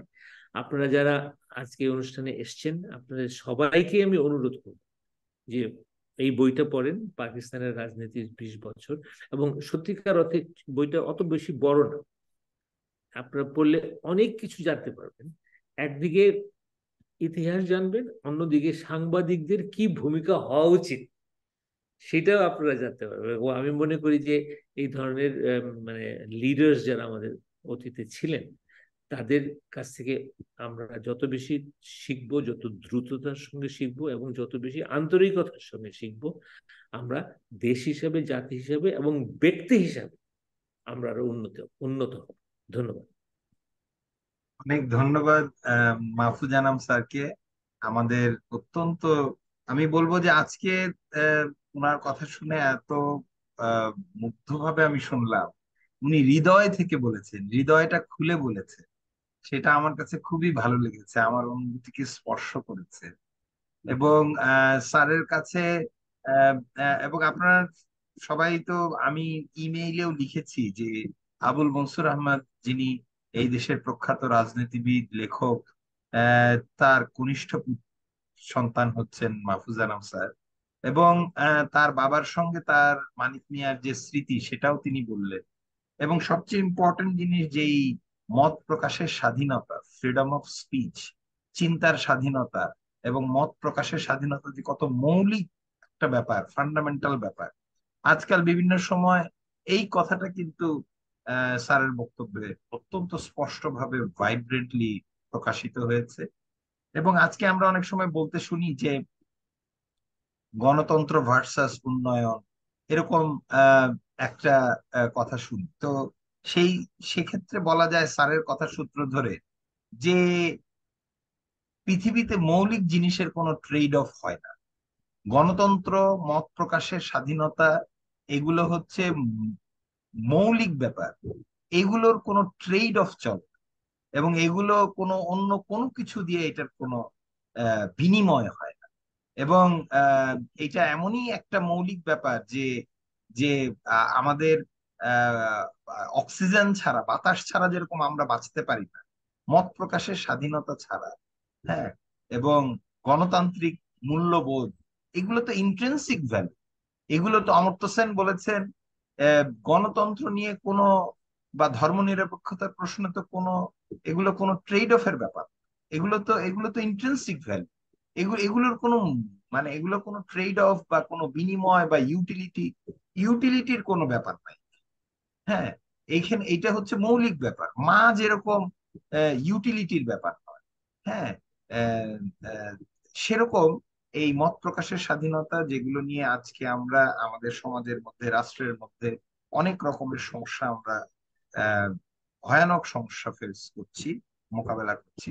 আজকে মানিক মিয়া এবং মানিক মিয়াকে স্মরণ করে স্যার যে হৃদয়গ্রাহী বক্তব্য দিলেন, তা আমার মনে হয় আমাদেরকে অনুপ্রাণিত করবে। আমাদের আমাদের ফাউন্ডিং ফাদাররা যেই মূল্যবোধের উপর আত্মত্যাগ করেছেন, এত মানুষ রক্ত দিয়েছেন, জীবন দিয়েছেন, সেই মূল্যবোধকে আমাদের জীবনে রিস্টোর করা এবং ফিরিয়ে নিয়ে আসা এইটা অত্যন্ত সমাজের জন্য অত্যন্ত জরুরি এবং মৌলিক বিষয়।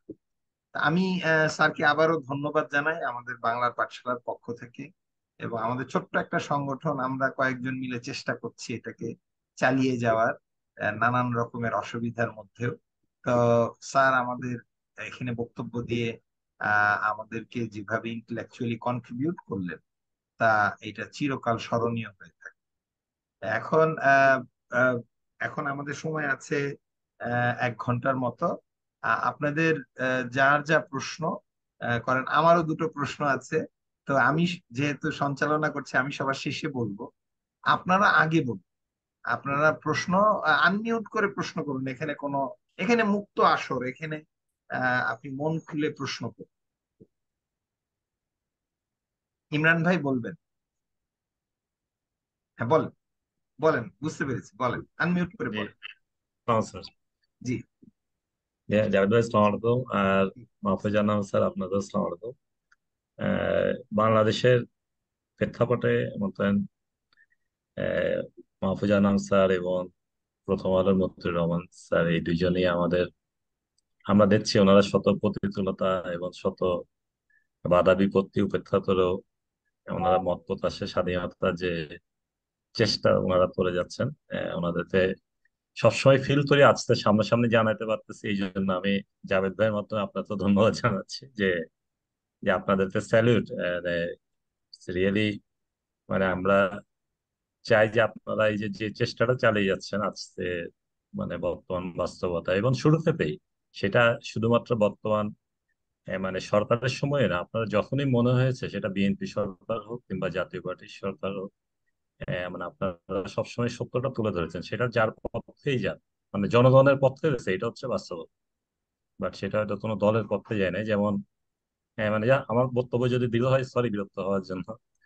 মানে অনেক সময় আপনাদের পত্রিকার কোডগুলো আওয়ামী লীগ ইউজ করতো যখন বিএনপির বিরুদ্ধে বলতো। আবার হয়তো বিএনপি এখন ইউজ করছে, এখন মানে এই জিনিসগুলো, এই যে আপনারা যে সত্যর পথে আছেন, এই বিষয়টা হচ্ছে যে মানে সবচেয়ে বড় ব্যাপার।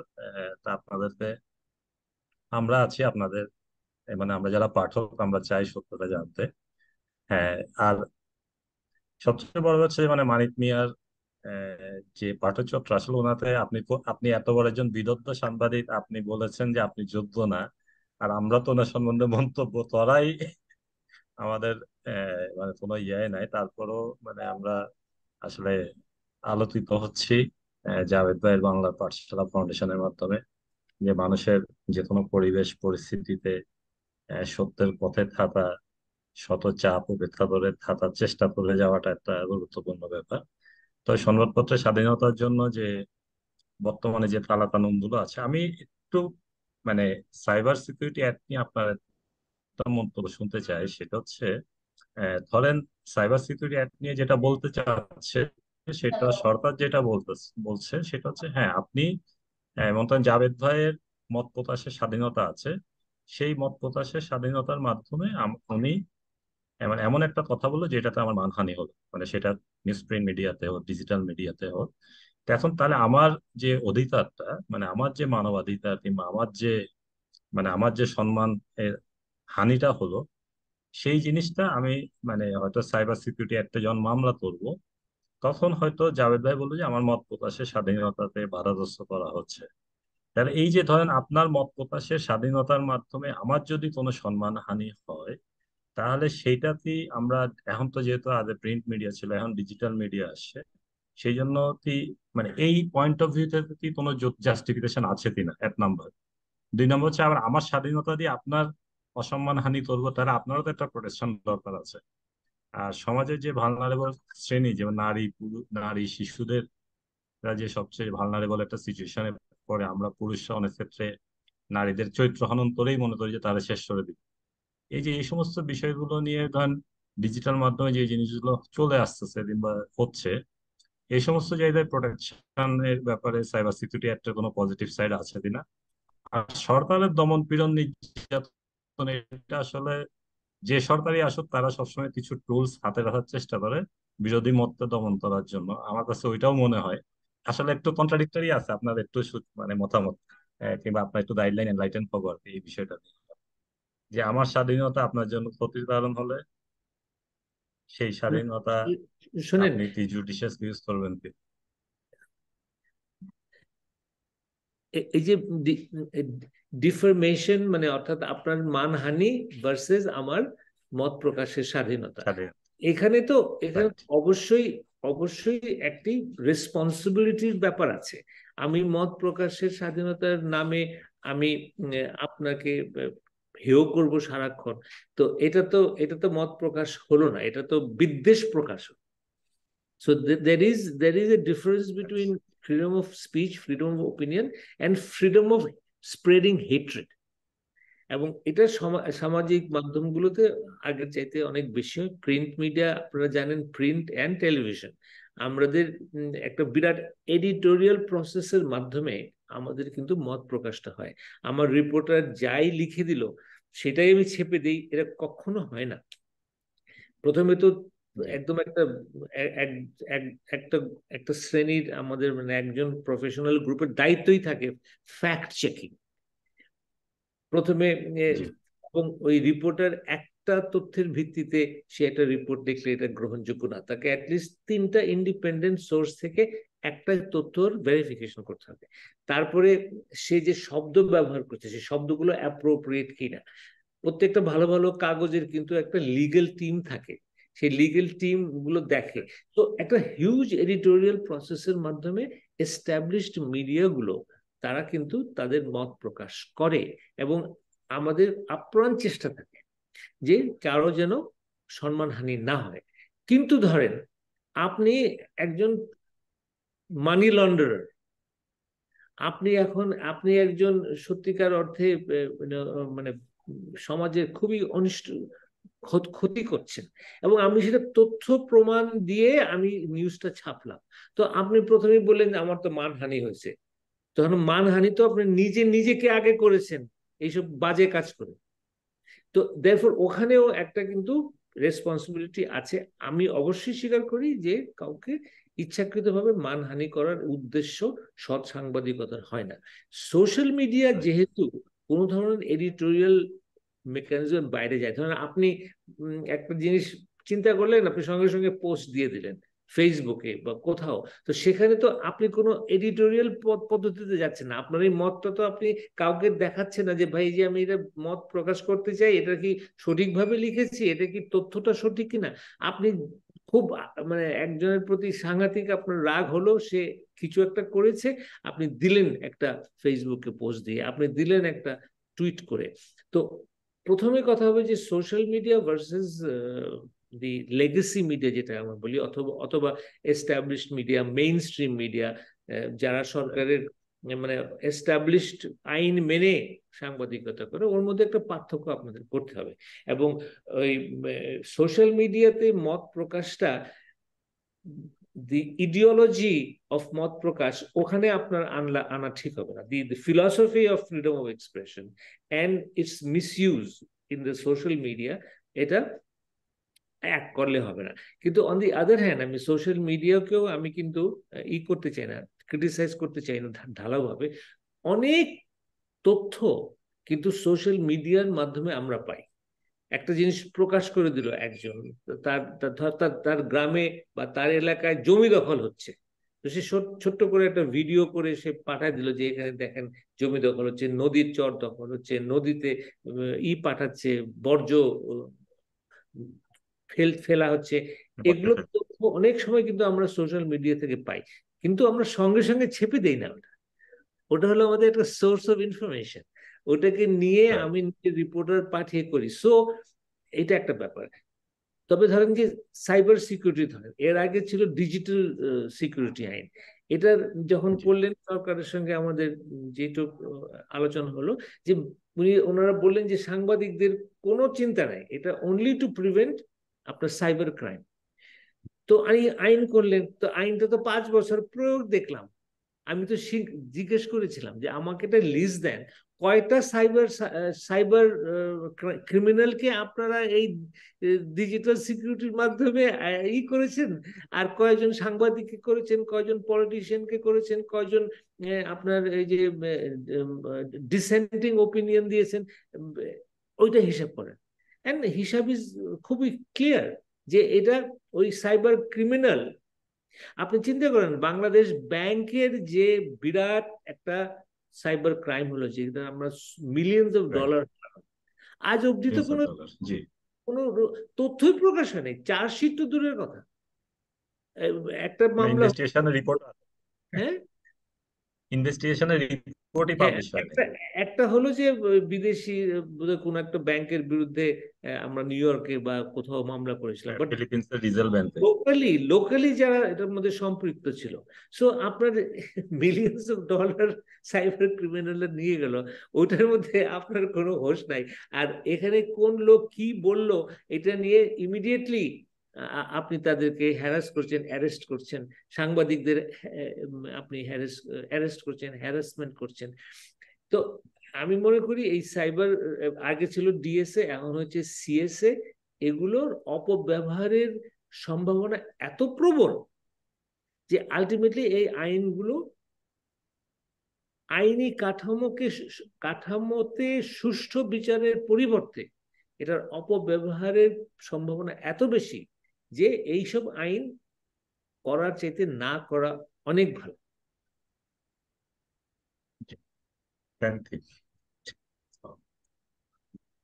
ধন্যবাদ। আর আর আর প্রশ্ন কেউ করলে হ্যাঁ। সবুজ? হ্যাঁ প্রশ্ন। আমি একটু বলতে চাচ্ছিলাম। আসসালামু আলাইকুম। জি Mahfuz Anam sir thank you so much যে আপনি এত বড় একটা প্ল্যাটফর্মে আপনি এত মানে মূল্যবান অনেকগুলো কথা বলেছেন, যেটা আমাদের আসলে প্রথম থেকে আমরা কিন্তু অনেক কিছু অবগত না। আমরা আসলে এই প্ল্যাটফর্মের মাধ্যমে বা আপনাদের মাধ্যমে আমরা অনেক কিছু গ্রুম হচ্ছি। প্লাস আমাদের ফান্ডামেন্টাল একটা মাইন্ডসেট তৈরি হচ্ছে, যে মাইন্ডসেটটা আমাদেরকে মানে ফিউচারে ইন্সপায়ার করবে to go for the positive direction এখন স্যার, আমি একটা জিনিস একটু জাস্ট একটা ইনক্রিজিং ট্রেন্ড আমাদের অবজারভেশনে মানে এটা আমাদের আসে, যারা আমরা একটু মিড এজ লেভেলে চলে আসছি। আগে আমরা দেখতাম আমরা প্রচুর পত্রিকার উপরে, পত্রিকার আর্টিকেলের উপর আমরা ডিপেন্ডেন্ট হতাম। কারেন্টলি এই ট্রেন্ডটা এখন চলে যাচ্ছে ইউটিউব অ্যান্ড বিভিন্ন ব্লগার প্লাস সোশ্যাল অ্যাক্টিভিস্ট ওই লেভেলে এখন স্যার এইটার পজিটিভ সাইড কি আর নেগেটিভ সাইডটা কি স্যার যেমন আমরা দেখি বলেন। জি, আমরা দেখি তার আগে দেখতাম মিডিয়া গুলো প্রচণ্ড অ্যাক্টিভ রোল প্লে করতো টু এস্টাবলিশ অ্যান ইস্যু আর টু মাইন্ডসেট একটা তৈরি করা, একটা ফান্ডামেন্টাল একটা কনসেপ্ট তৈরি করা বা একটা ভ্যালু সিস্টেম তৈরি করার ব্যাপারে। কারেন্টলি কিন্তু এই রোলটার মধ্যে আমরা স্যার পাচ্ছি না ইয়াকে, পত্রিকাগুলোকে পাচ্ছি না। এখন এই জায়গাটায় চলে আসতেছে আমি, আমার অবজারভেশনে যেটা ব্লগার প্লাস বিভিন্ন সোশ্যাল অ্যাক্টিভিস্টের নামে ইউটিউব, ইউটিউবের অ্যাক্টিভিস্ট প্লাস ফেসবুক বা সোশ্যাল মিডিয়া অ্যাক্টিভিস্ট, অ্যাক্টিভিজম এই জায়গাটা তৈরি হচ্ছে। তা এইটা কি চল, এইভাবে চলবে নাকি ফিউচারে মনে করেন পত্রিকাগুলোরও ফ্রিডম প্লাস এই জায়গাটায় আসা উচিত? আপনি এটাকে কীভাবে দেখবেন? বা পত্রিকাগুলোর কি কনস্ট্রাকটিভ কোনো চেঞ্জ দরকার? যেটাকে কেন্দ্র করে ফিউচারে আরও পাবলিক অ্যাওয়ারনেস প্লাস পাবলিক ইন্টারাকশনটাকে বাড়ানো যায়। হ্যাঁ না, আগে একটা আপনাকে জিনিস হতে হবে যে সোশ্যাল মিডিয়া ইউটিউব এটা সেটা, এটা কিন্তু সাংঘাতিক democratization of expression of opinion ঘটিয়েছে। আগে আপনি ধরেন ইমাজিন করেন যে সোশ্যাল মিডিয়া নাই। তো আপনি একটা ইস্যু পাবলিকের সামনে আনতে চান, তো আপনি কোথায় যেতেন? আপনি একটা খবরের কাগজের অফিসে যেতেন, অথবা আপনি একটা টেলিভিশনের কাছে গিয়ে বলতেন যে, এই ভাই দেখো, এটা হচ্ছে এটা হচ্ছে, ওইটা হচ্ছে, তোমরা একটা রিপোর্ট করো। তো সেই খবরের কাগজ বা সেই টেলিভিশন তারা, আমি বলতে যে অত্যন্ত আন্তরিকতার সঙ্গে আপনার কথা শুনলো, শুনে গিয়ে গেল, গিয়ে দিয়ে ইনভেস্টিগেট করে তার একটা রিপোর্ট করল, প্রামাণ্য চিত্র করল। এবং এই প্রক্রিয়াতে ধরেন অ্যাটলিস্ট এক, দুই, তিন সপ্তাহ চলে গেল। ঘটনাটা ঘটলো। এখন আপনি হয়তো কোনো সাংবাদিককে চেনেন বা আপনার একটা সামাজিক অবস্থান এমন যে আপনি যখন একটা সংবাদপত্রের অফিসে গেলেন, তখন সে আপনাকে খুব গুরুত্ব সহকারে দেখল। কিন্তু সাধারণ একজন লোক তার ওরকম সামাজিক অবস্থানও নাই, তার ওইরকম কোনো কানেকশনও নাই, সে কি করবে? সেও যাবে সংবাদপত্রের অফিসে, সেও যাবে টেলিভিশনের অফিসে এবং আমার ধারণা যে সাধারণত they would have been ignored এখন তার তার ফেসবুকের মাধ্যমে সে একটা, আমি ধরে নিচ্ছি সে দায়িত্বশীল ব্যক্তি। আমি কিন্তু দায়িত্বহীন যারা মিথ্যা প্রচার করতে উৎসাহী বা ঘৃণা প্রসার তাদের কথা বলছি না। But there are many people যারা সামাজিক ভাবে সচেতন এবং তারা সমাজের ভালো চায় এবং তারা তার সোশ্যাল মিডিয়ার মাধ্যমে অনেক ইস্যু তুলে ধরে। সো আমি মানে বলতে পারেন যে প্রাথমিকভাবে এই সোশ্যাল মিডিয়ার প্রেজেন্সটা আমি এটাকে বলব a democratization process of expression of opinion expression expression of views, expression of opinion. Therefore, the fundamentally democratic and positive. এখন ধরেন আগে যদি চিন্তা করেন, যখন সংবাদপত্র যখন প্রথম শুরু হলো, তখন একটা সংবাদপত্রের সার্কুলেশন কত হতো? পাঁচশো, এক হাজার এবং কীভাবে তারা ছাপাতো ওই কাঠের ব্লক ব্লক করে, এটা করে, ওটা করে। তারপরে আপনার টাইপ সেটিং ইনোভেশন হলো এবং বিশেষ করে আপনার প্রিন্টিং প্রেসগুলো আরও আধুনিক হতে থাকল। এবং দশটা কাগজের জায়গায় একশোটা কাগজ হলো। তো ওই সময় তো অনেকে বলেছে যে এত কাগজ আপনার দায়িত্বহীন সংবাদ প্রচার করছে দায়িত্বহীন ভাবে তারা কথা বলছে। তো ওই একটা, দুইটা, তিনটা কাগজই বেটার সো সবসময় ঘটেছে। এই মুষ্টিমেয় টেলিভিশনের চ্যানেলের চাইতে অনেক টেলিভিশন অনেক কাগজ এবং social media fundamentally social media হচ্ছে এটা প্রত্যেকটা নাগরিকের হাতে তার মত প্রকাশ করার একটা সাংঘাতিক অস্ত্র। এবং আপনি চিন্তা করেন এই তখনও সোশ্যাল মিডিয়া ওরকম হয় নাই বাট আপনি যদি যে এন্টি মার্কোস মুভমেন্ট হ্যাঁ এটা কিন্তু আপনার ওই তখন শুধু হতো আপনারই মেসেজ পাঠানো। তো একটা ওই আমরা ওটা কি জানি ছিল পিপুলস মুভমেন্ট যে তারা, ধরেন একটা মিটিং করবে, তারা একটা মেসেজ পাঠিয়ে দিল, এক হাজার লোক সেটা জেনে গেল, গিয়ে সঙ্গে সঙ্গে মিলিত তারা এক ঘণ্টা, দুই ঘণ্টার মধ্যে এক জায়গায় মিলিত হয়ে তারা তাদের দাবি নিয়ে এগিয়ে গেল। Social mobilization expression of views এই সমস্ত কিছুর মধ্যে সোশ্যাল মিডিয়ার একটা বিরাট অবদান আছে। কিন্তু সব ভালো জিনিসের সঙ্গে সঙ্গে কিছু মিসইউজের ব্যাপার আছে। এবং আজকে আমরা দেখছি যে সোশ্যাল মিডিয়াতে হেট্রেড ধর্মীয় ঘৃণা প্রকাশ করা মানুষকে হেয় করা মানুষকে কোণঠাসা করা এবং এটা এখন আবার একটা ইসের মধ্যে দাঁড়িয়ে গেছে। You know you can you can troll a person you can তারপরে যে নারীদের উপরে বিভিন্নভাবে সেক্সুয়াল হ্যারাসমেন্ট এগুলো সবই হচ্ছে।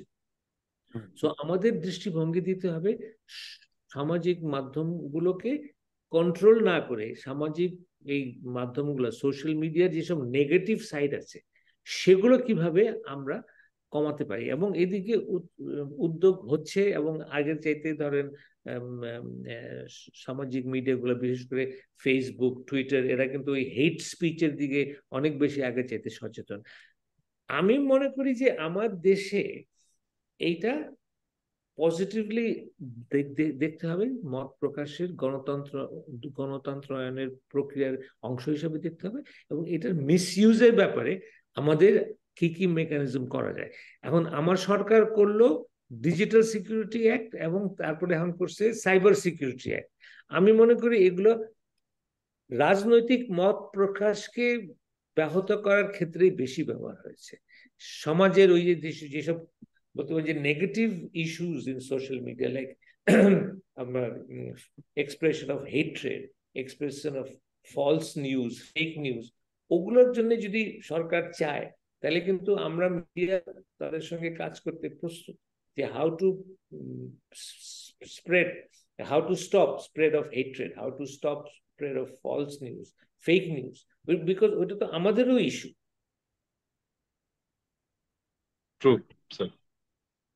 ধন্যবাদ। জনাব ফয়সাল খান তিনি একটা প্রশ্ন করেছেন। তিনি চ্যাটে লিখেছেন যে I would like to express my gratitude to Mr. Mahfuz Anam sir for his excellent speech on Manik Mia and freedom of expression. How do you comment on recent democracy and development debate in the current context of Bangladesh? Thank you for your question. The answer is very simple. The debate between development versus um, democracy, in my view, is a false debate. I repeat, this is a false debate. Development and democracy, they are not on the opposite side. They are absolutely together. এবং আপনি তাকিয়ে দেখেন বিশ্বে যে যেসব দেশে গণতন্ত্রের সুপ্রতিষ্ঠিত হয়েছে, যেখানে আইনের শাসন সুপ্রতিষ্ঠিত, যেখানে ক্ষমতা ধরদের আপনার অ্যাকাউন্টেবিলিটি ইজ একদম মানে একদম আইনগতভাবে করতে বাধ্য, ওই ধরনের সমাজের উন্নতি দেখেন। আর যেসব জায়গায় ডিকটেটোরিয়াল রিজিম কাজ করে সেই সব জায়গার উন্নতি দেখেন। And then it becomes very clear যে ডেভেলপমেন্ট টুক প্লেস যেখানে ডেমোক্রেসি প্রসারিত হয়েছে। ডেমোক্রেসি প্রসারিত সঙ্গে সঙ্গে ডেভেলপমেন্ট হয়েছে। দু একটা হয়তো ইউ হ্যাভ এক্সাম্পল যেটা এটা ব্যতিক্রম but exceptions don't make the rule rule is এবং এটা আপনি যে তাকিয়ে দেখেন বিশ্বের। কোন কোন দেশ পিছিয়ে আছে সেটা ডাইরেক্টলি লিঙ্কড উইথ আপনার ল্যাক অফ ডেমোক্রেসি এখন একটা জিনিস বলা যেতে পারে যে আংশিক বা কিছু একটা পিরিয়ডের জন্য, একটা শর্ট পিরিয়ডের জন্য দেখা যায় যে আন্ডার ডিক্টেটোরিয়াল মেজার্স আপনি খুব উন্নতি করে ফেলেছেন। কিন্তু এবং আমাদের জন্য একটা শিক্ষণীয় ব্যাপার হচ্ছে আইয়ুব খানের রিজিম আপনারা তখন হয়তো অনেকেই জন্ম নেননি বা একদম বাচ্চা ছিলেন, আমরা যারা ওই সময়কার ছাত্র জীবন দেখেছি, আইয়ুব খান তো অনেক ডেভেলপমেন্ট করে গেছে। But why was Ayub toppled Why was Ayub uh, regime rejected by the people? এবং আজকে ইতিহাসে আইব খানের কি স্থান? কিন্তু ওই সময় কিন্তু সে ডেভেলপমেন্ট অনেক করেছিল। সে ওই ডেভেলপমেন্ট অ্যান্ড ডেমোক্রেসি ডিবেটটাকে আলাদা করে নিয়ে সে বলার চেষ্টা করেছে ভাই আমি ডেভেলপমেন্ট দিচ্ছি তা তুমি ডেমোক্রেসি নিয়ে আপাতত একটু চুপ থাকো। History repeatedly proved that democracy versus development debate is a false debate. এটার কোনো তথ্যগত ইতিহাসগত ভিত্তি নেই।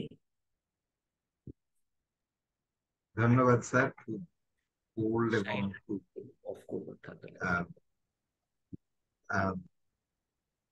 আর কোন প্রশ্ন? বা আমাদের সঙ্গে যুক্ত হয়েছেন গ্লাসগো ইউনিভার্সিটি থেকে আলতাফ হোসেন রাসেল। আমার বন্ধু তিনি ওখানে পিএইচডি করছেন। রাসেল ভাই, আপনি ক্যামেরা অন করে প্রশ্ন করুন। স্যারকে ধন্যবাদ। আমি আসলে পুরো বক্তব্যটাই শুনেছি। তো আমি স্ট্যাটিস্টিক্স এর লোক ইকোনমিক্স পড়ছি। ইতিহাস জ্ঞান আমার খুব বেশি একটা নেই। তারপর আমার তারপরও আমি স্যারের পুরো বক্তব্যটা শুনে আমি খুবই আনন্দিত। অনেক নতুন বিষয় জানতে পেরেছি। আর স্যারকে আমার প্রশ্ন বিশেষ করে সোশ্যাল মিডিয়া নিয়ে স্যার যে কথাটা বললেন যে ফ্রিডম অফ এক্সপ্রেশনে সোশ্যাল মিডিয়ার যে পজিটিভ ভূমিকা, আবার পাশাপাশি উনি বললেন নেগেটিভ সাইডটাও আমাদেরকে কন্ট্রোল করতে হবে। তো এখানে আমার একটা প্রশ্ন যে আমরা আসলে এটার, আমি এরকম কোনো গবেষণা পাই নাই যে কি মাত্রায় পজিটিভ কি মাত্রায় নেগেটিভ সেটা কীভাবে কন্ট্রোল করতে হবে। তো এটা আসলে এখনও ওইরকম করে কনক্রিট কোনো কথা কিন্তু এখানে আসে নাই। তো আমার প্রশ্নটা হচ্ছে, গত দশ বছর কিংবা পনেরো বছরে যদি সোশ্যাল মিডিয়ার যে রাইজিং টাইমটা সেই সময়ে ফ্রিডম অফ এক্সপ্রেশনের যে মুভমেন্ট এর যে সফলতা পৃথিবীব্যাপী, এবং তার আগের দশ বছর যখন সোশ্যাল মিডিয়া ছিল না, ওই সময় ফ্রিডম অফ এক্সপ্রেশনের যে মুভমেন্টের যে সফলতা, সেই জায়গাটাতে আমার কাছে মনে হয় যে সোশ্যাল মিডিয়ার অনুপস্থিতিতে যে সফলতার যে স্ট্রেংথটা বেশি আমার কাছে মনে হয়। আমি ভুল হইতে পারি, এখানে স্যারের মন্তব্যটা আমি চাচ্ছি আর আপনার সঙ্গে আমি খুবই বিনীত ভাবে এবং আপনাকে সম্পূর্ণ সম্মান প্রদর্শন করে বলতে চাই যে আপনার সঙ্গে আমি একমত পোষণ করছি না। আপনি ব্যাপারটা হলো যে আপনি এন্টি কলোনিয়াল মুভমেন্ট যেগুলো হয়েছে, একটা দেশ কলোনি থেকে বেরিয়ে সেই তার কলোনাইজারদের সঙ্গে তার তার তার যে দ্বন্দ্ব এবং সেই তার বিরুদ্ধে আন্দোলন করে সে স্বাধীন হয়েছে, এগুলো কিন্তু অনেক সময় লেগেছে। এখন আপনি জান, যেসব যেসব জায়গায় খুবই মিডিয়া কন্ট্রোলড আছে হ্যাঁ? তো সেই সব জায়গায়, আমি let us take China and Russia as examples তো সেই জায়গায় সোশ্যাল মিডিয়াকে তারা এতভাবে কন্ট্রোল করে কেন? What is the need behind it এত চায়নার তো সাফল্যের সত্যিকার অর্থে শেষ নাই। সে পৃথিবীতে সে এক সত্যিকার অর্থে দৃষ্টান্ত স্থাপন করেছে। কীভাবে একটা জাতিকে সামনে দিয়ে নিয়ে যায়? সবকিছু তারা দিয়েছে এবং তাদেরকে কংগ্রেচুলেট করার এক হাজারটা উপকরণ আছে। কিন্তু মত প্রকাশের জায়গাতে গেলেই তারা এটাকে একদম টোটাল কন্ট্রোলে রাখে। ভয় কিসে? জনগণ উপকৃত যদি হয়ে থাকে, তাহলে তো তোমার পক্ষে তো সে যাবেই। কিন্তু ওইটার ভয় হইল যে আপনার যখন পলিটিক্যাল পাওয়ার যখন আপনাকে মনোপোলাইজ করে রাখতে হবে, ঠিক আছে? তো ওই মনোপলি অফ পলিটিক্যাল পাওয়ারটার জন্যই তার মত প্রকাশকে ধরে থাকে। তো এখন আমি মনে করি মানে এটার সঙ্গে ডেঞ্জার কিন্তু যখন আপনি say a society which is totally control সেখানে কিন্তু আপনি অনেক কিছু থেকে আপনি কিন্তু নিষ্কৃতি পাচ্ছেন। ওই রাস্তাঘাটে গেলে আপনাকে কেউ মাক করবে না, আপনার বাসায় চুরিও কম হবে, আপনার অনেক কিছু আপনার সুন্দরভাবে চলবে। বাট ফ্রিডম দিলেই এটা কিছু এলোমেলো হয়ে যায়। তো ওইটাও তো ফ্রিডমের একটা অংশ। অর্থাৎ freedom to be effective has to be given এবং ওটার মধ্যে একটা ফ্যাক্টর ইন করাই থাকবে যে এটার একটা পোর্শন লোক এটার অপব্যবহার করবে। কিছু কিছু লোক এটাতে, এটা, এটাতে মানে তার খারাপ দিকটাকে সে নিয়ে যাবে। কিন্তু আপনাকে তার জন্য কি ফ্রিডমকে বন্ধ করে দিবেন? ইট ইজ ভেরি মানে ধরেন আমি একটা খুব ক্রুডলি কথা বলি যে আপনি আমাকে বলছেন, মাহফুজানা, আপনি একদম মুক্ত, আপনার যা ইচ্ছা হয় আপনি বলতে পারেন। কিন্তু যদি আপনার একটা কথা ভুল হয়, তাহলে আমি আপনার জিব্বা কেটে দেব। তাহলে কি সত্যি সত্যি আমি আমার মত প্রকাশ করব? কেননা আমি তো ভয়ে থাকব। এটা যদি সত্য প্রমাণিত না হয় তখন আপনি বলতে পারেন যে, ভাই, সত্য প্রমাণিত না হইলে আপনি বলবেন কেন? আমি তো পৃথিবীর শ্রেষ্ঠ জ্ঞানী গুণী লোক না। আমার একটা, আমার মনে হয়েছে যে এটা করা ঠিক না। তো আমি বলে দিলাম। পরে তথ্য বাইর হলো যে এটা করা ঠিক নাই কথাটা ঠিক না।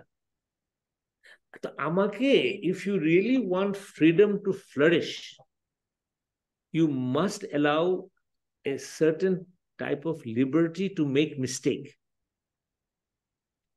আপনি যদি ভুল করতে না পারেন, আপনি শুধরাবেন কেমন করে? সব তথ্যই কি প্রথম দিকে একদম বেরিয়ে যায়? Take any scientific any scientific discovery এটার কত ধাপে ধাপে এটা একদিকে একজন বলছে এইটা পরে প্রমাণিত হয়েছে সত্য না, পরে আরেকজন বলছে আরেকটা, ওইটা প্রমাণিত হয়েছে সত্য না। এই যে প্রমাণ এবং সত্য, এইটার মধ্যে যে একটা ডাইনামিক্স একটা একটা ডায়ালেকট্রিক্যাল রিলেশনশিপ ওইটার থ্রুতেই কিন্তু একটা সত্য বের হয়ে আসে।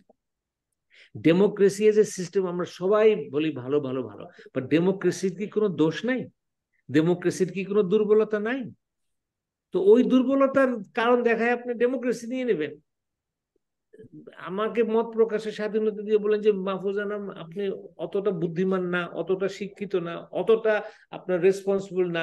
আপনি ওই ওই জায়গায় পৌঁছান, জ্ঞানের ক্ষেত্রে আপনি ওইখানে যান রেসপন্সিবিলিটির ক্ষেত্রে আপনি ওইখানে যান, তাহলেই আমি আপনাকে মত প্রকাশের স্বাধীনতা দিব।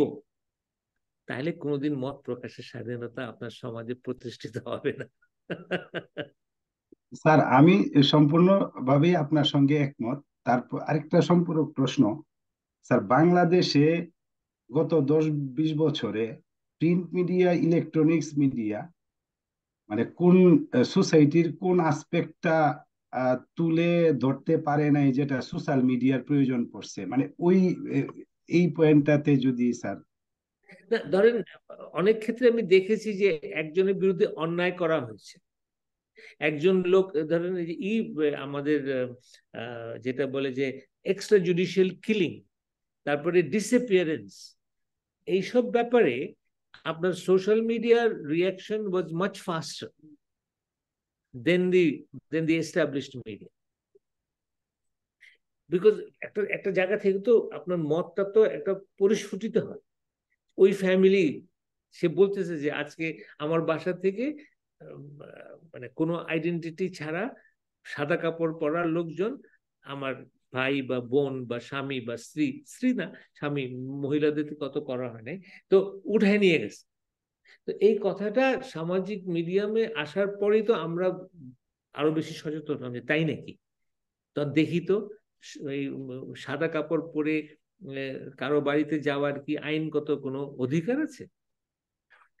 তারপরে ওয়ারেন্ট না দেখিয়ে কাকে কি তুলে নেওয়ার অধিকার আছে?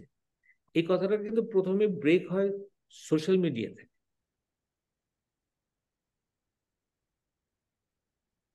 ধন্যবাদ স্যার খুবই আমার এগুলো কনফিউশন ছিল। আমি ক্লিয়ার হইলাম। কিন্তু প্লিজ প্লিজ ডোন্ট মানে থিঙ্ক যে এভরিথিং ইজ একদম নিষ্পাপ এবং এর মধ্যে কোনো কিছু নেগেটিভ নাই। এভরিথিং যেটা আমাদের সভ্যতায় আসছে।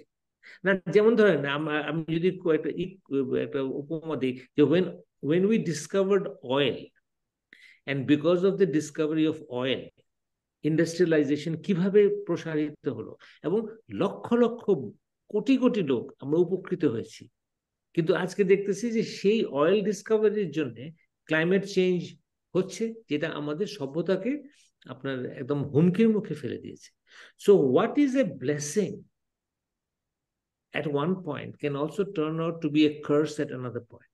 So, there is nothing একদম পিওরলি ভালো পিওরলি খারাপ আমার বিচক্ষণতার মাধ্যমে, আমার সচেতনতার মাধ্যমে আমি একটা নতুন জিনিসকে পজিটিভটা নিয়ে ওটা নেগেটিভ নেগেটিভটাকে যত সম্ভব ওটাকে আমি এলিমিনেট করার চেষ্টা করব বাট এভরিথিং ইন লাইফ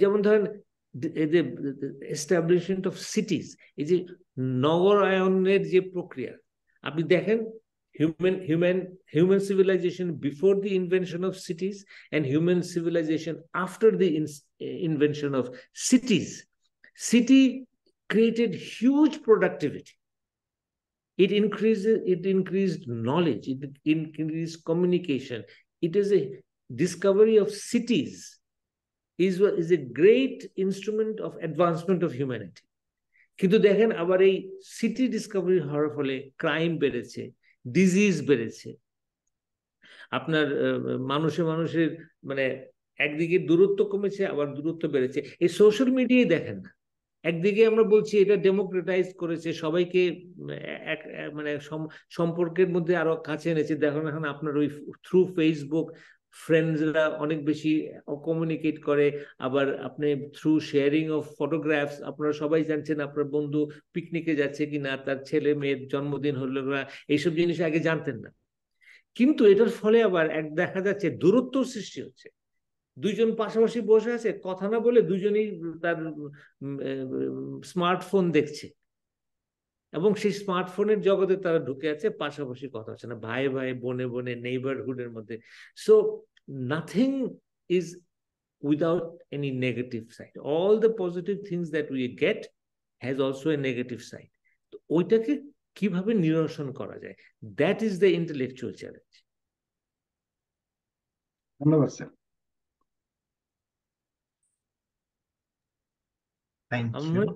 প্রশ্ন প্রশ্ন না থাকলে শেষ করে দেন। অনেক অনেক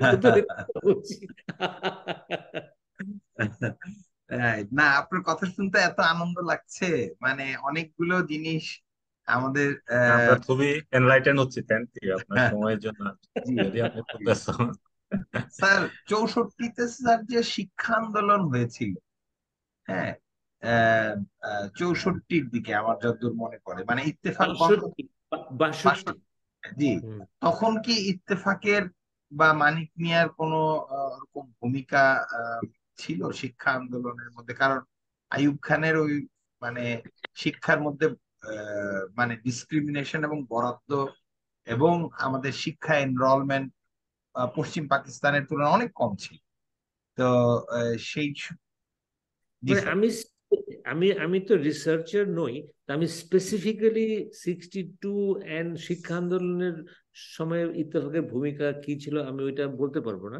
কিন্তু আমি এইটুকু বলতে পারব যে মানে in on the bigger canvas Ittefaq always represented the aspiration of the people specifically এটা আমি না বলে আমি একটু সামগ্রিকভাবে বলি all issues that concern the people of East Pakistan সেটা এডুকেশনে হোক কালচারে হোক ইকোনমিতে হোক, Ittefaq was a supporting institution বাহ, খুবই চমৎকার। এই কথার আপনাদের যদি আর কোনো প্রশ্ন না থাকে, তাহলে আমরা আজকে এই কথার মধ্য দিয়ে শেষ করতে চাই। যে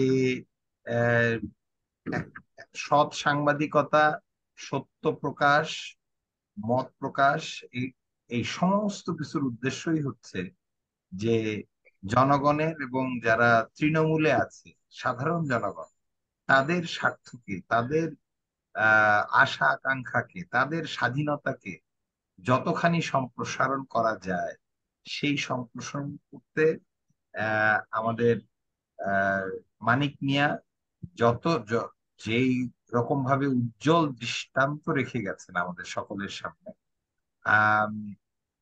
আমি একটু একটা তুমি আপনি শেষ করার আগে আমি একটা কথা বলতে চাই। সেটা হলো যে মানে আমাদের কিন্তু গভীরভাবে উপলব্ধি করতে হবে যে এই বর্তমান বিশ্বে আমরা যারা সৌভাগ্যবান যে আমরা এই মুহূর্তে জীবিত আমাদেরকে বুঝতে হবে যে একদিকে কিন্তু তথ্যের একটা প্রাচুর্যে আমরা বাস করি। আপনি যে কোনো সময় আপনি একটা আপনার স্মার্টফোনে আপনি গুগলকে জিজ্ঞেস করেন না গুগল সাহেব এটা কি হলো? সঙ্গে সঙ্গে কিন্তু আপনি উত্তর পেয়ে যাচ্ছেন। সো এই যে এই যে অ্যাক্সেস টু ইনফরমেশন তো আমি যখন একটা জিনিস শুনলাম বা আমি যখন একটা জিনিস ভাবছি, আপনি why don't we use this resource হ্যাঁ why don't we use this resource to make our opinions far superior than otherwise? So we have the resources আমরা ইজিলি ভেরিফাই করতে পারি ইজিলি জানতে নতুন জিনিস জানতে পারি। কিন্তু ওটা করতে না একটু পরিশ্রম লাগে। আপনার সময় লাগে। আর আমার সময় কই? ভাই আমি অন্যখানে চলে যাই। এটা তো শুনতে ভালো লাগছে। এই হলো একটা কথা। দ্বিতীয় কথা হলো কি যে প্রত্যেকটা মানুষের না কতগুলো মজ্জাগত প্রেজুডিস থাকে। এই প্রেজুডিসগুলো কোথা থেকে আসতেছে আপনি কিন্তু বলতে পারবেন না। ধরেন এই যে হোয়াইটরা একটা ধারণা যে দেয়ার সুপিরিয়র ওদের ধারণা যে কালো চামড়ারা অত শিক্ষিত না অত না। এটা কিন্তু কলোনাইজেশনের বিরাট ইন্টেলেকচুয়াল ফ্রেমের মধ্যে এটা কাজ করেছে যে whites are a better human being এটা ভাঙতে কিন্তু শত বছর লেগেছে। এখনও কিন্তু এটা অবচেতন মনে কিন্তু আমাদের মধ্যে থাকে। কালো সাদা ধর্ম আমার ধর্ম ওই ধর্মের চাইতে শ্রেষ্ঠ। আমি এটা বিশ্বে এটা ভালো। আমার পরিবার হচ্ছে আরও বেশি সম্ভ্রান্ত পরিবার। ও ও হলে ও হলে অত নিচু পরিবার থেকে আসছে। এই যে প্রেজুডিস আমি মনে করি এটা হয় কি? আমাদের অবচেতন মনে এটা প্রবেশ করে। অবচেতন মনে প্রবেশ করে। তো ওইখান, ওই আমাদের একটা যেন ফাইট সবসময় ওখানে বজায় থাকে, যে we have to constantly get rid of our prejudices এবং সেই প্রেজুডিসের একটা অংশ হলো যে আমি যেটা, আমার জন্য যেটা ভালো, ওইটাই হলো সমাজের জন্য ভালো। আর আমার জন্য যেটা অত বেশি ভালো না বাট আরেকজনের জন্য ভালো, ওইটা সমাজের জন্য ভালো না। এই যে একটা প্রবণতা সেলফ ইন্টারেস্ট কেন্দ্রিক চিন্তাধারা, এটা কিন্তু a human being you are you are expected to be self মানে you are almost structured to be self centered এটা হলো আপনার biologically you are made to be self centered but intellectually আপনার ওই সেলফ সেন্টার জগৎ থেকে কতটুকু আপনি বেরিয়ে আসতে পারছেন that is education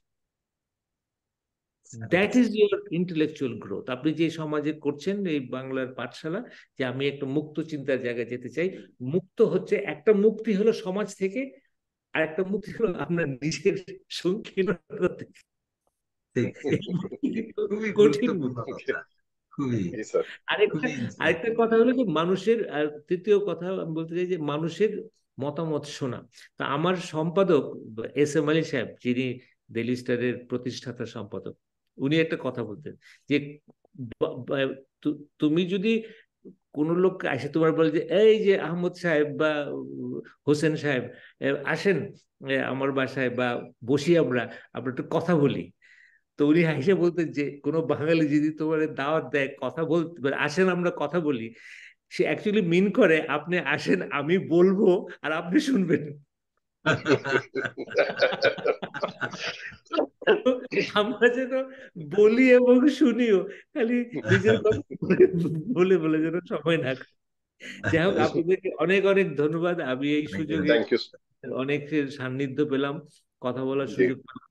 আমি যদি কিছু আপনি বাট আমি অন্তর থেকে বলেছি এবং মানে সিনসিয়ারিটি নিয়ে বলেছি। এটাই আমার বলতে পারেন যে সার্টিফিকেট আর কোনো জ্ঞানের সার্টিফিকেট নাই আন্তরিকতার সার্টিফিকেট আছে।